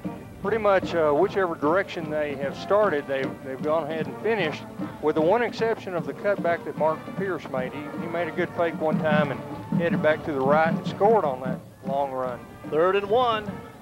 Strong side is to the left. Here is There Zach go. Moore. He'll run to the right, though, and just squeezes through for a first down at the uh, Springtown 44. Well, on that play, Randy, we had number 63 Antillion and number 64 Bradley Simmons combining to just roll two of the Springtown players on the ground. They just uh, they just put them on their backside and held them down there till till the whistle, I guess. Jason Such is the left tackle, and he is out on the field quite a bit for the Kangaroos. Plays defensive end, about 6'4", 210. Very strong for a guy that's 210 pounds and has a tremendous footwork. Here's Zach, pitch out go. to Pierce. Going to cut inside of one Here man. go. 40 35, and finally bowled over at the 33. And that will be a first down for the Kangaroos as Mark Pierce reels off about 13 yards. Randy, as uh, as that play finished out, you could see two or three Roos getting up on their on their knees to watch Mark Pierce run. They, they were they were standing. I mean, they were getting on their knees just beside players that they had knocked down for Springtown. I was especially watching Kane Riddle that time. He just went in there, uh, cut his guy down, and uh, and did his job, and got to watch the play from from ground level, as they say. And we've got a real stiff breeze blowing in from the south right now, and it's blowing across the field. And we've got a, uh penalty flag down, and this will probably be a procedure call against Weatherford. You know what, Mark, a lot of people get irked when we have uh, a lot of uh, procedure calls and everything, but I, I really believe it's a good thing. I think you need your officials to force you to play the game as precisely as you possibly can and to force you to play the game correctly because if you get away with some of these things uh, during the season and you go and you have another officiating crew somewhere that doesn't let you get away with it, it can cost you when you get into the playoffs and you want to uh, be forced by that officiating crew uh, to play the game as sharply as you possibly can. Randy, I'd agree with you on that. Second or first down and 15. Moore will go back to pass. Here is the slide pass. Nice catch by Hudson. And a good tackle over there, though, by Smith, who was right there and gets Garrett right at the line of scrimmage. That's Donald Smith. Well, uh, the Roos have uh, thrown that uh, swing pass out there to their uh, backs, both uh, Garrett Hudson and Andrew Shanahan, uh, various times this year, and have had a lot of success. And looked like Springtown pretty well had that scouted out. So we have a second down and 15. The ball is at the 37 of uh, Springtown. 107 to go in the third quarter and a 28 to nothing lead. And Zach Moore, boy, you just have to say that he's just throwing the ball over the all over the place right now. Mark, we haven't seen this many passes in a long time. And here's a fake inside. Moore's going to try to go outside with it. Uses his speed, but then Oh. slips just as he gets around the corner. And that was Cantwell over there to uh, force him to the outside, but a gain of perhaps five yards. They'll move the ball down to the 33, and we'll have a uh, third down play. And now we've got a timeout. Let's take a timeout too. It's 28 to nothing. Weatherford over Springtown. We'll be right back.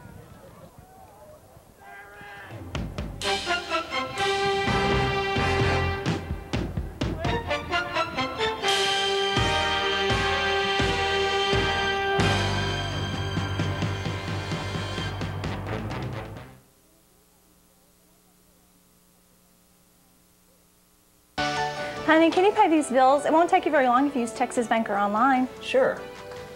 Girls, I'll be right back. Texas Banker Online, a simple and secure way to bank over the internet with no service charge. Now you can pay bills quickly and conveniently from the comfort of your own home with Texas Banker Online. That was quick. Yeah, that Texas Banker Online is really simple. Whose turn is it anyways? Texas Banker Online, a product from Texas Bank. Plug in now. Dennis Connolly and Associates at Weatherford Physical Therapy have been serving and supporting Parker County since 1982. Their new location is at 1404 South Main, next to the Golden Moon. Weatherford's only privately owned rehabilitation clinic specializing in physical, occupational, and speech therapy. The latest equipment demonstrates their commitment to quality personal care. For all your sports medicine, spine, and orthopedic rehab needs, call 341 3600. Weatherford Physical Therapy Services. Hi, I'm Shannon Carney, and this is my sister Stacy of Vic Cressman and Carney. Hi, this is Laura Cressman from Vic Cressman and Carney.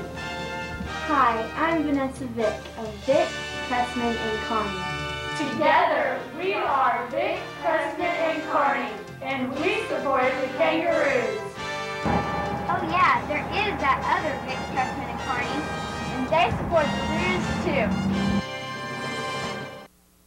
Springtown is one of the smaller 4A schools. They could possibly drop back down to uh, Class 3A. You know, last year when Aledo won the state championship, they had more students in school than Springtown, who was playing at Class 4A level.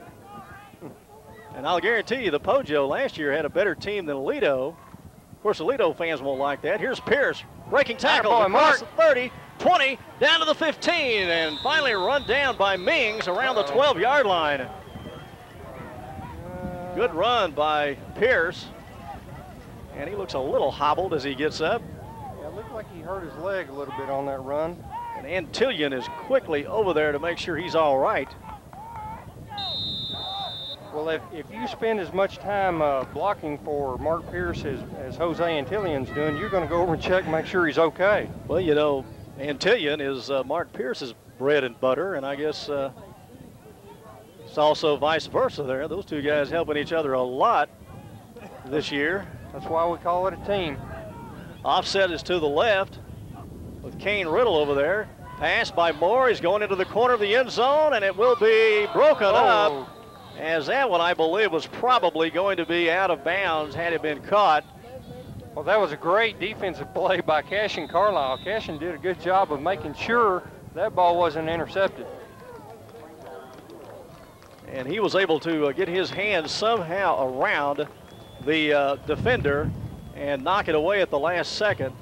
Well, let's take one more timeout. We'll be right back in just a minute. It's 28 to nothing, Weatherford over Springtown.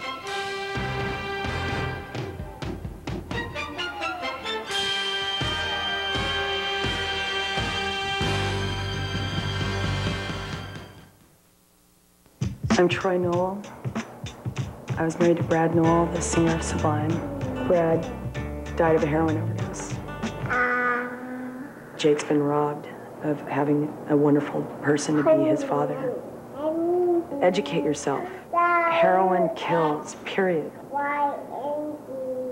We miss him and we'll miss him forever, and don't let anyone miss you. E-F-D.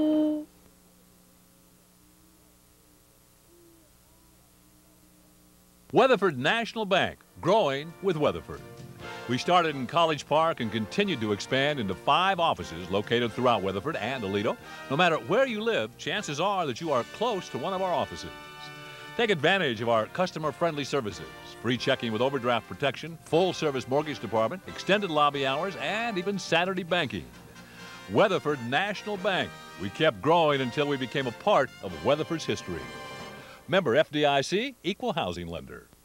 Trinity Paint and Body, owned by Bo Winstead, is located at 1600 Fort Worth Highway. They are known for their fast and superior service. Since opening in April of 1998, they are already having to expand their existing location due to the high volume of business. For great hometown service and a friendly staff, call Trinity Paint and Body, Monday through Friday, 7:30 a.m. to 5 p.m. And remember, for high quality service, Bo knows.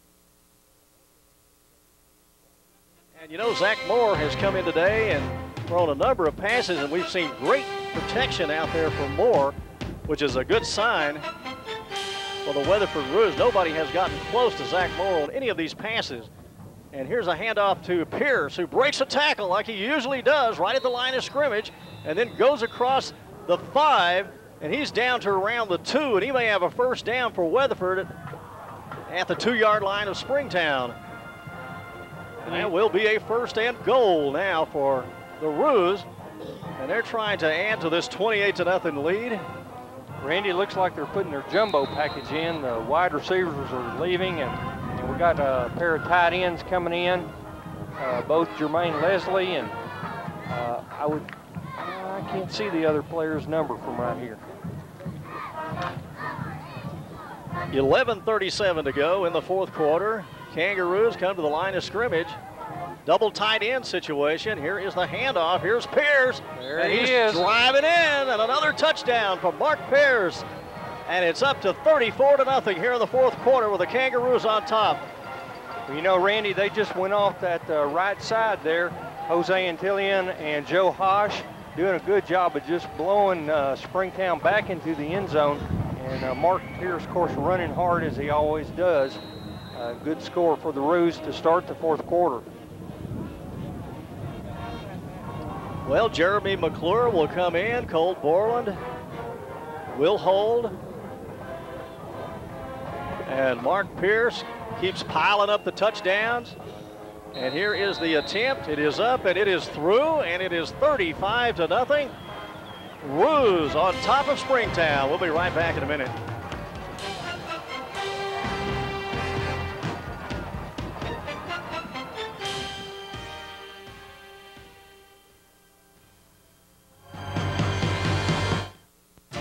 Your hometown bank teams up with your hometown Kangaroos to provide the support for a successful athletic year at Weatherford High School. Texas Bank, a proud sponsor of the Kangaroo Stadium scoreboard, the sports medicine John Deere Gator, and the new athletic training complex. Texas Bank makes the commitment to our student athletes to place them in the winner's circle. Backing our Kangaroos, banking at Texas Bank. Member FDIC, an equal opportunity lender.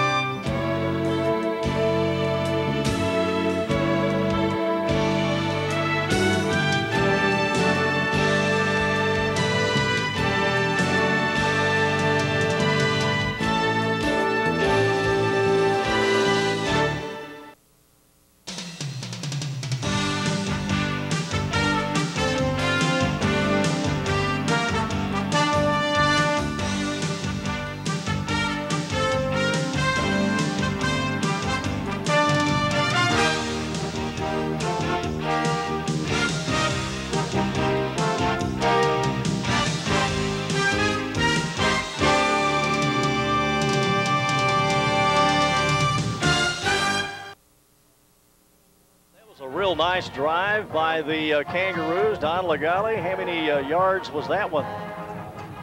Well, you hit me before I had my microphone out of my pocket there, uh, but uh, I'm ready to go. 11 plays, 56 yards for the Roos, starting at their own 44. Uh, 421 in the third quarter and about a half a minute into the uh, fourth quarter before that uh, score gets put on the board. 35 to nothing for the Kangaroos, and they'll be kicking off to the Porcupines. And Mark Pierce now has three more touchdowns tonight, so that gives him, I believe, 19 for the season. And he also has a two-point conversion. McClure will kick. This one will be end over end and high to uh, Overholt at the two-yard line for Springtown. He crosses the 15, the 20, and right at the 20-yard line is where he'll go down. With 11-18 to go in the fourth quarter. Well, it looked like Mills was a little slow getting up. He just came flying in there and uh, was a part of the, the lead uh, uh, group of Kangaroos to make the tackle, but he's a little slow in getting up. He does run off the field, though. And Brett Mathis, the young quarterback for Springtown, who is subbing for Anthony Hare, who was hurt in the first quarter, has done a re respectable job. He's handled the ball pretty well. I think he's had one fumble tonight.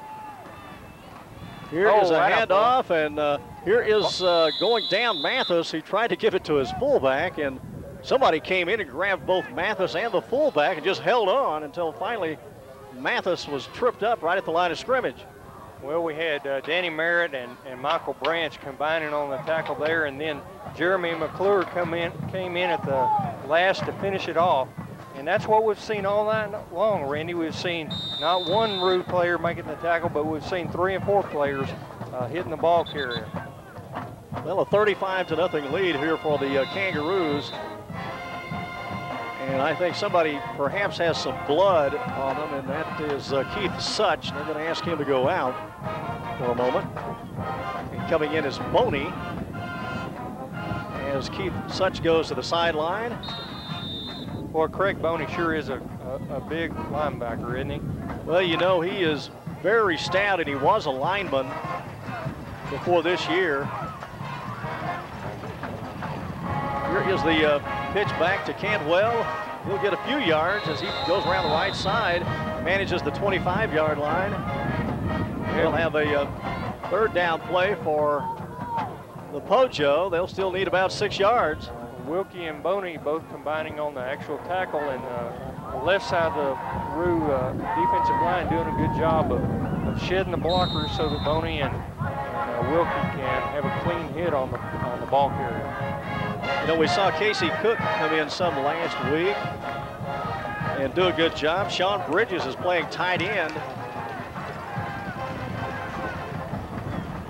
for the Roos, and he'll probably uh, be in there tonight. Here's a pass over the middle, and again, Jeremy Richardson has another reception. I don't believe he's going to have enough for the first down. It's according to where they mark it, as uh, he was right over the middle that time. And uh, a nice pass by uh, Brett Mathis. And that was a good job of tackling by uh, uh, Colt, I mean Kane Riddle out in the open field there. Uh, the, the runner or the, uh, the pass receiver made a good fake, and Kane uh, bit just for a little bit, but did a good job of recovering to make the tackle. You know, with the big rush that's going on there, uh, it's good that he's getting that ball away so quickly yeah, because if he doesn't get that ball away quickly, he's going to be sacked, and he's going to be sacked deep. First and 10 for Springtown. Mathis has got it, pitches it out, and this will get some yardage. Well, not much, though. A nice tackle. Coming in this time is McDaniel to stop that one. A gain of about three or four yards for the Pojo. And that looked like that was going to be a long gain. Well, Mike McDaniel showing his speed there, Randy. He closed on the runner real fast, and uh, we had Jeremy uh, McClure doing a good job of playing the uh, quarterback. He stayed with the quarterback all the way and made him uh, pitch that ball out. Gave Mike a good chance to come up and make a clean tackle. This is not the normal multiple attack that we see from Springtown. They don't appear to be running a, a number of plays. They're just, uh, they've got a very basic pattern here that they're using for Brett Mathis. And he'll get a lot uh, quicker and a lot better as time goes on. He's handled himself pretty good out there today.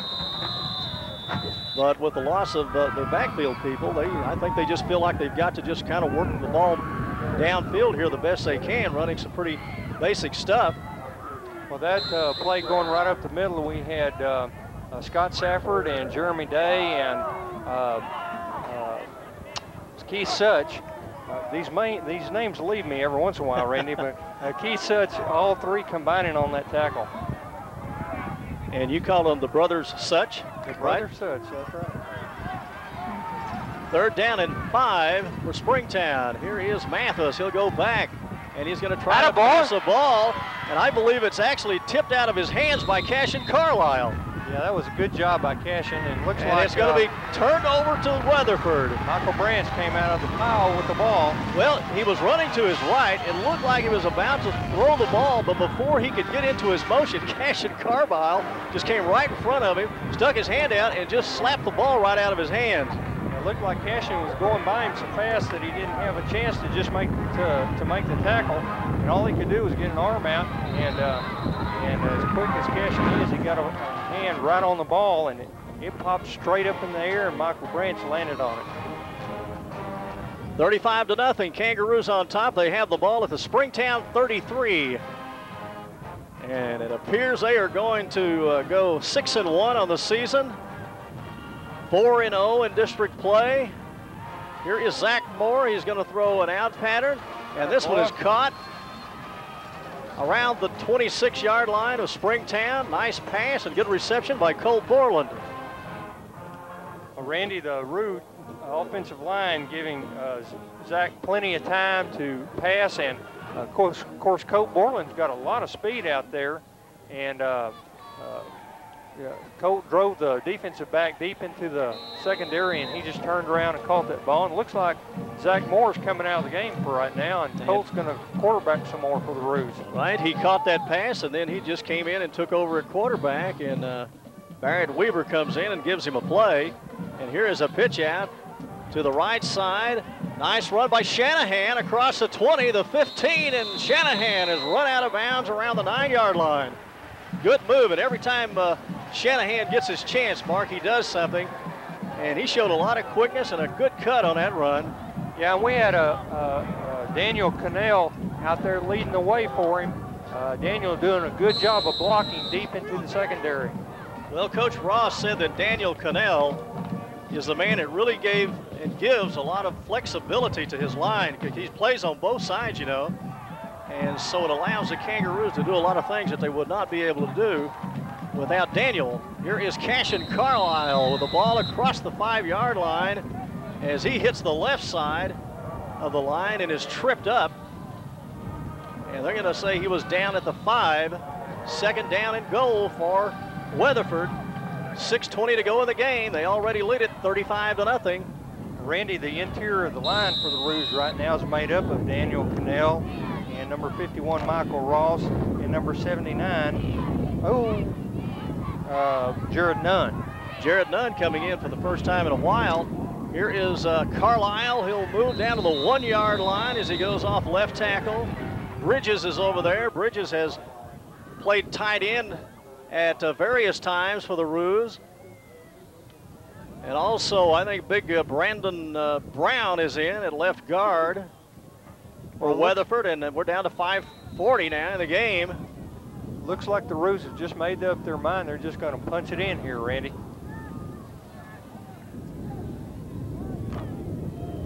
They will come out in a uh, I formation. They'll have two receivers to the right side, third and goal from the Springtown one. And here is Carlisle, and he'll just go in standing up. And it is 41 to nothing in favor of Weatherford. Randy, we had uh, big number 66, Brandon Brown, leading the way uh, in there for him, and and uh, Cashin got in there and uh, without him really having to, to run that hard. Well, it looked like he was just bumped. It looked like a belly bump there as he went over the goal line, and uh, it all. is 41 are going to go for 42 here as uh, Borland will come in and hold, and Jeremy McClure is back out. He'll use that left leg. See if he can't whip another one through. Here is the uh, snap held by Borland. Here is the kick. That one is up.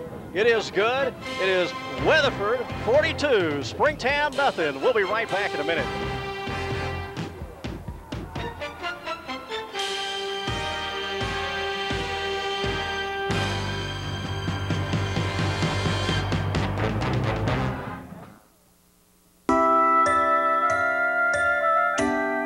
Can I have a puppy?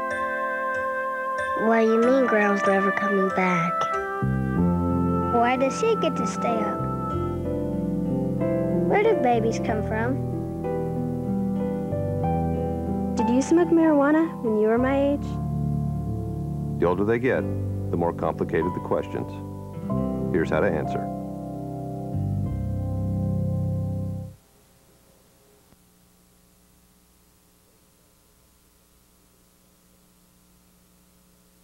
First National Bank of Weatherford is excited about the 1999 Weatherford High School season. Since 1880, the First National Bank of Weatherford has provided friendly and reliable service to the folks in Weatherford and surrounding area. We wish all of the players, cheerleaders, band members, and fans success in all they do in 1999. Come by and visit with your personal banker at First National Bank of Weatherford, member FDIC and equal housing lender.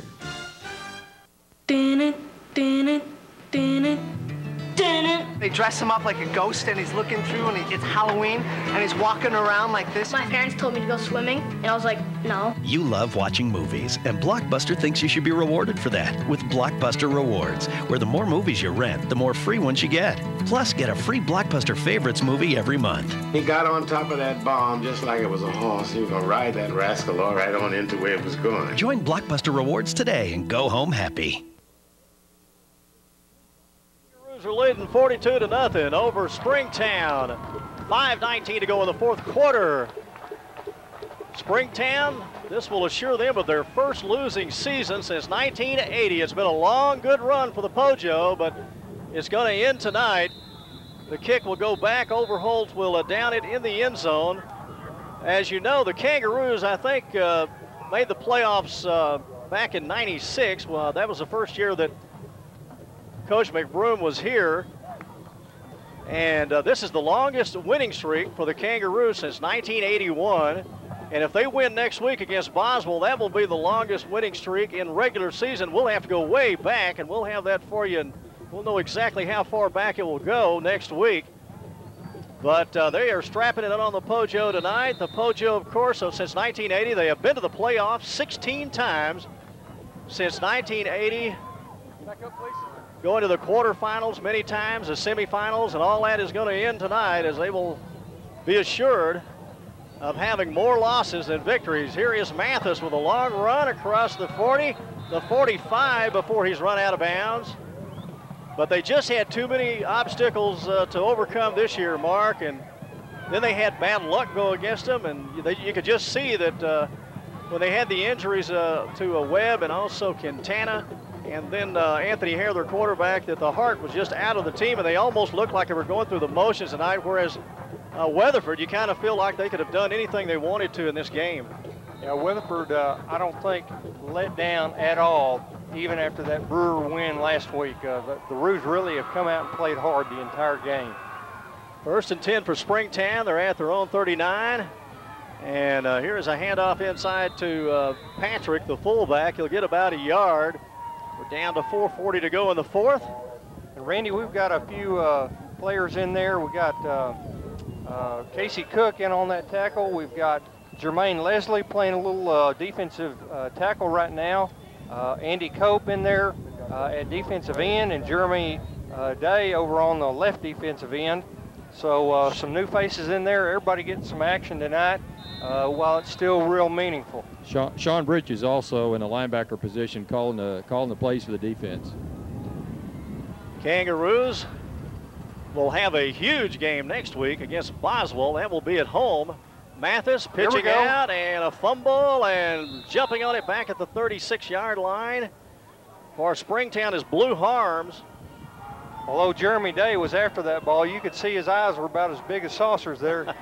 and uh, I think he was doing a uh, making plans to pick that ball up on the run and run it in. Mathis was uh, in the grasp of one of the Roos, and he was going down and tried to uh, pitch it out at the last moment. And uh, Roos almost had the ball there, but uh, Harms was able to uh, jump on it at his own 36. Second down and about uh, 13 yards to go, or third down for Springtown. This time it's the uh, wishbone or the uh, flexbone. Here's oh, a pass up the middle and it is going to be broken up at the last second. Coming across was Shanahan, and down there was Daniel Cantwell for Springtown. They both went for it, and it fell incomplete at the 35 Randy, of uh, Weatherford. So the ball will go over now as the Pojo will have to punt. That was great defensive pressure by the Roo defensive line. Uh, they just almost got to the quarterback, made him lost that ball uh, probably a little higher than he would have liked to, and uh, also made him throw into double coverage. So good job by both ends, uh, the defensive backs and the defensive line. Griffin back to pass for Springtown, and uh, that is uh, Mike McDaniel back for Weatherford. A very high, nice punt by Griffin. Mike McDaniel will catch it and step out of bounds at his own 33. So the Roos They'll have another chance to add to this 42 to nothing lead. 304 left. Boswell Pioneers coming in. Of course, last year, Kangaroos jumped all over Boswell. And then we'll follow them up uh, with, uh, I think, the Azle Hornets. And then finally Northwest. Could be the other way around the land, but all three of those games are going to be very important. Yeah, but the nice thing about those three particular games, Randy, is that we play two of them at home. And uh, we only have to go to Azle instead of uh, having to go to Boswell and having to go to Northwest. It's always easier, or typically it's easier to play on your home field. Is West 14 and Boswell over Northwest. Here is a pitch out to Shanahan again. Nice cut. Here we go. 40, Take 45. Off, He's at Here midfield. And now Put it on Shanahan's on a Put it on. run, and he's going to spin away from Yeah, another man it. at the 35. There he goes. He's at the 20, 10, and Shanahan will take it all the way in. Oh, but we got a flag. Well, that was a magnificent run by Shanahan. He made a great cut around the 40 or 45 yard line on his own side and then broke a tackle at the uh, 35 of Springtown. Well, I want you to know there's no quitting the Roos, is there? I mean, they're they're playing as hard right now as they were the first uh, few Well, minutes you know, of the ball game. that, that, uh, if that's a drop off at all, it's not much, much of one because he is a good little running back. Well, And you hate to see that because he put out such a great effort. He had some good blocking across the front, but this uh, holding that's been the, uh, I guess you could say, the only negative from uh, the Roo season so far. Yeah, but uh, I still want to, I still want to say, Randy, that I think a lot of that is just hustle, uh, as opposed to uh, sloppiness. So you're saying a uh, call because of commission and not omission, right? I don't mind having first down and four yards to go. Is what I'm saying, I guess. High formation. Here Hand off to Chesney. He's running hard, and he'll have a first down around the 45 as he is the I back in the I uh, backfield for the Kangaroos right now. Well, across that line, we've got uh, Joe Hosh, and we've got uh, number 79 for the Roos, Jared Nunn, uh, 66, uh, Brandon Brown, and 55, Dan- Daniel Connell, and also uh, Michael Ross continues to be the center for the Roos. First and 10 for Weatherford from their own 45. One man out to the right side, and the I backfield again. Here's Chesney. Gets about two yards off the left side. Behind Connell. And also the, the left guard, which I can't see, and I think it is Brandon Brown. We have a second down at about eight. The Roos have it at their own 47. Time running down. Randy, 125 to go. Colt Borland has kind of turned into the Iron Man for the Roos when you think about it. He plays cornerback. He's the backup quarterback. He's the uh, holder on the uh, extra points and uh, he uh, returns the punts. He's on the kickoff team. And uh, I think he handles uh, water distribution. He's a water boy sometimes. So you're saying he's a very valuable player, is that right? I would I would say that. Sure is. Well, we uh, get another carry by Chesney. Go to the right side this time and pick up a yard. We'll have a third down play. We have probably one more play left in this game. We had uh, no prognostications by Mark Reeby. Nothing forthcoming in this game. Perhaps next week or during the week, he may tell us what is going to happen in the Boswell Weatherford game. But I, I bet there'll be one of the biggest crowds in a long time over at Kangaroo Stadium next Friday night.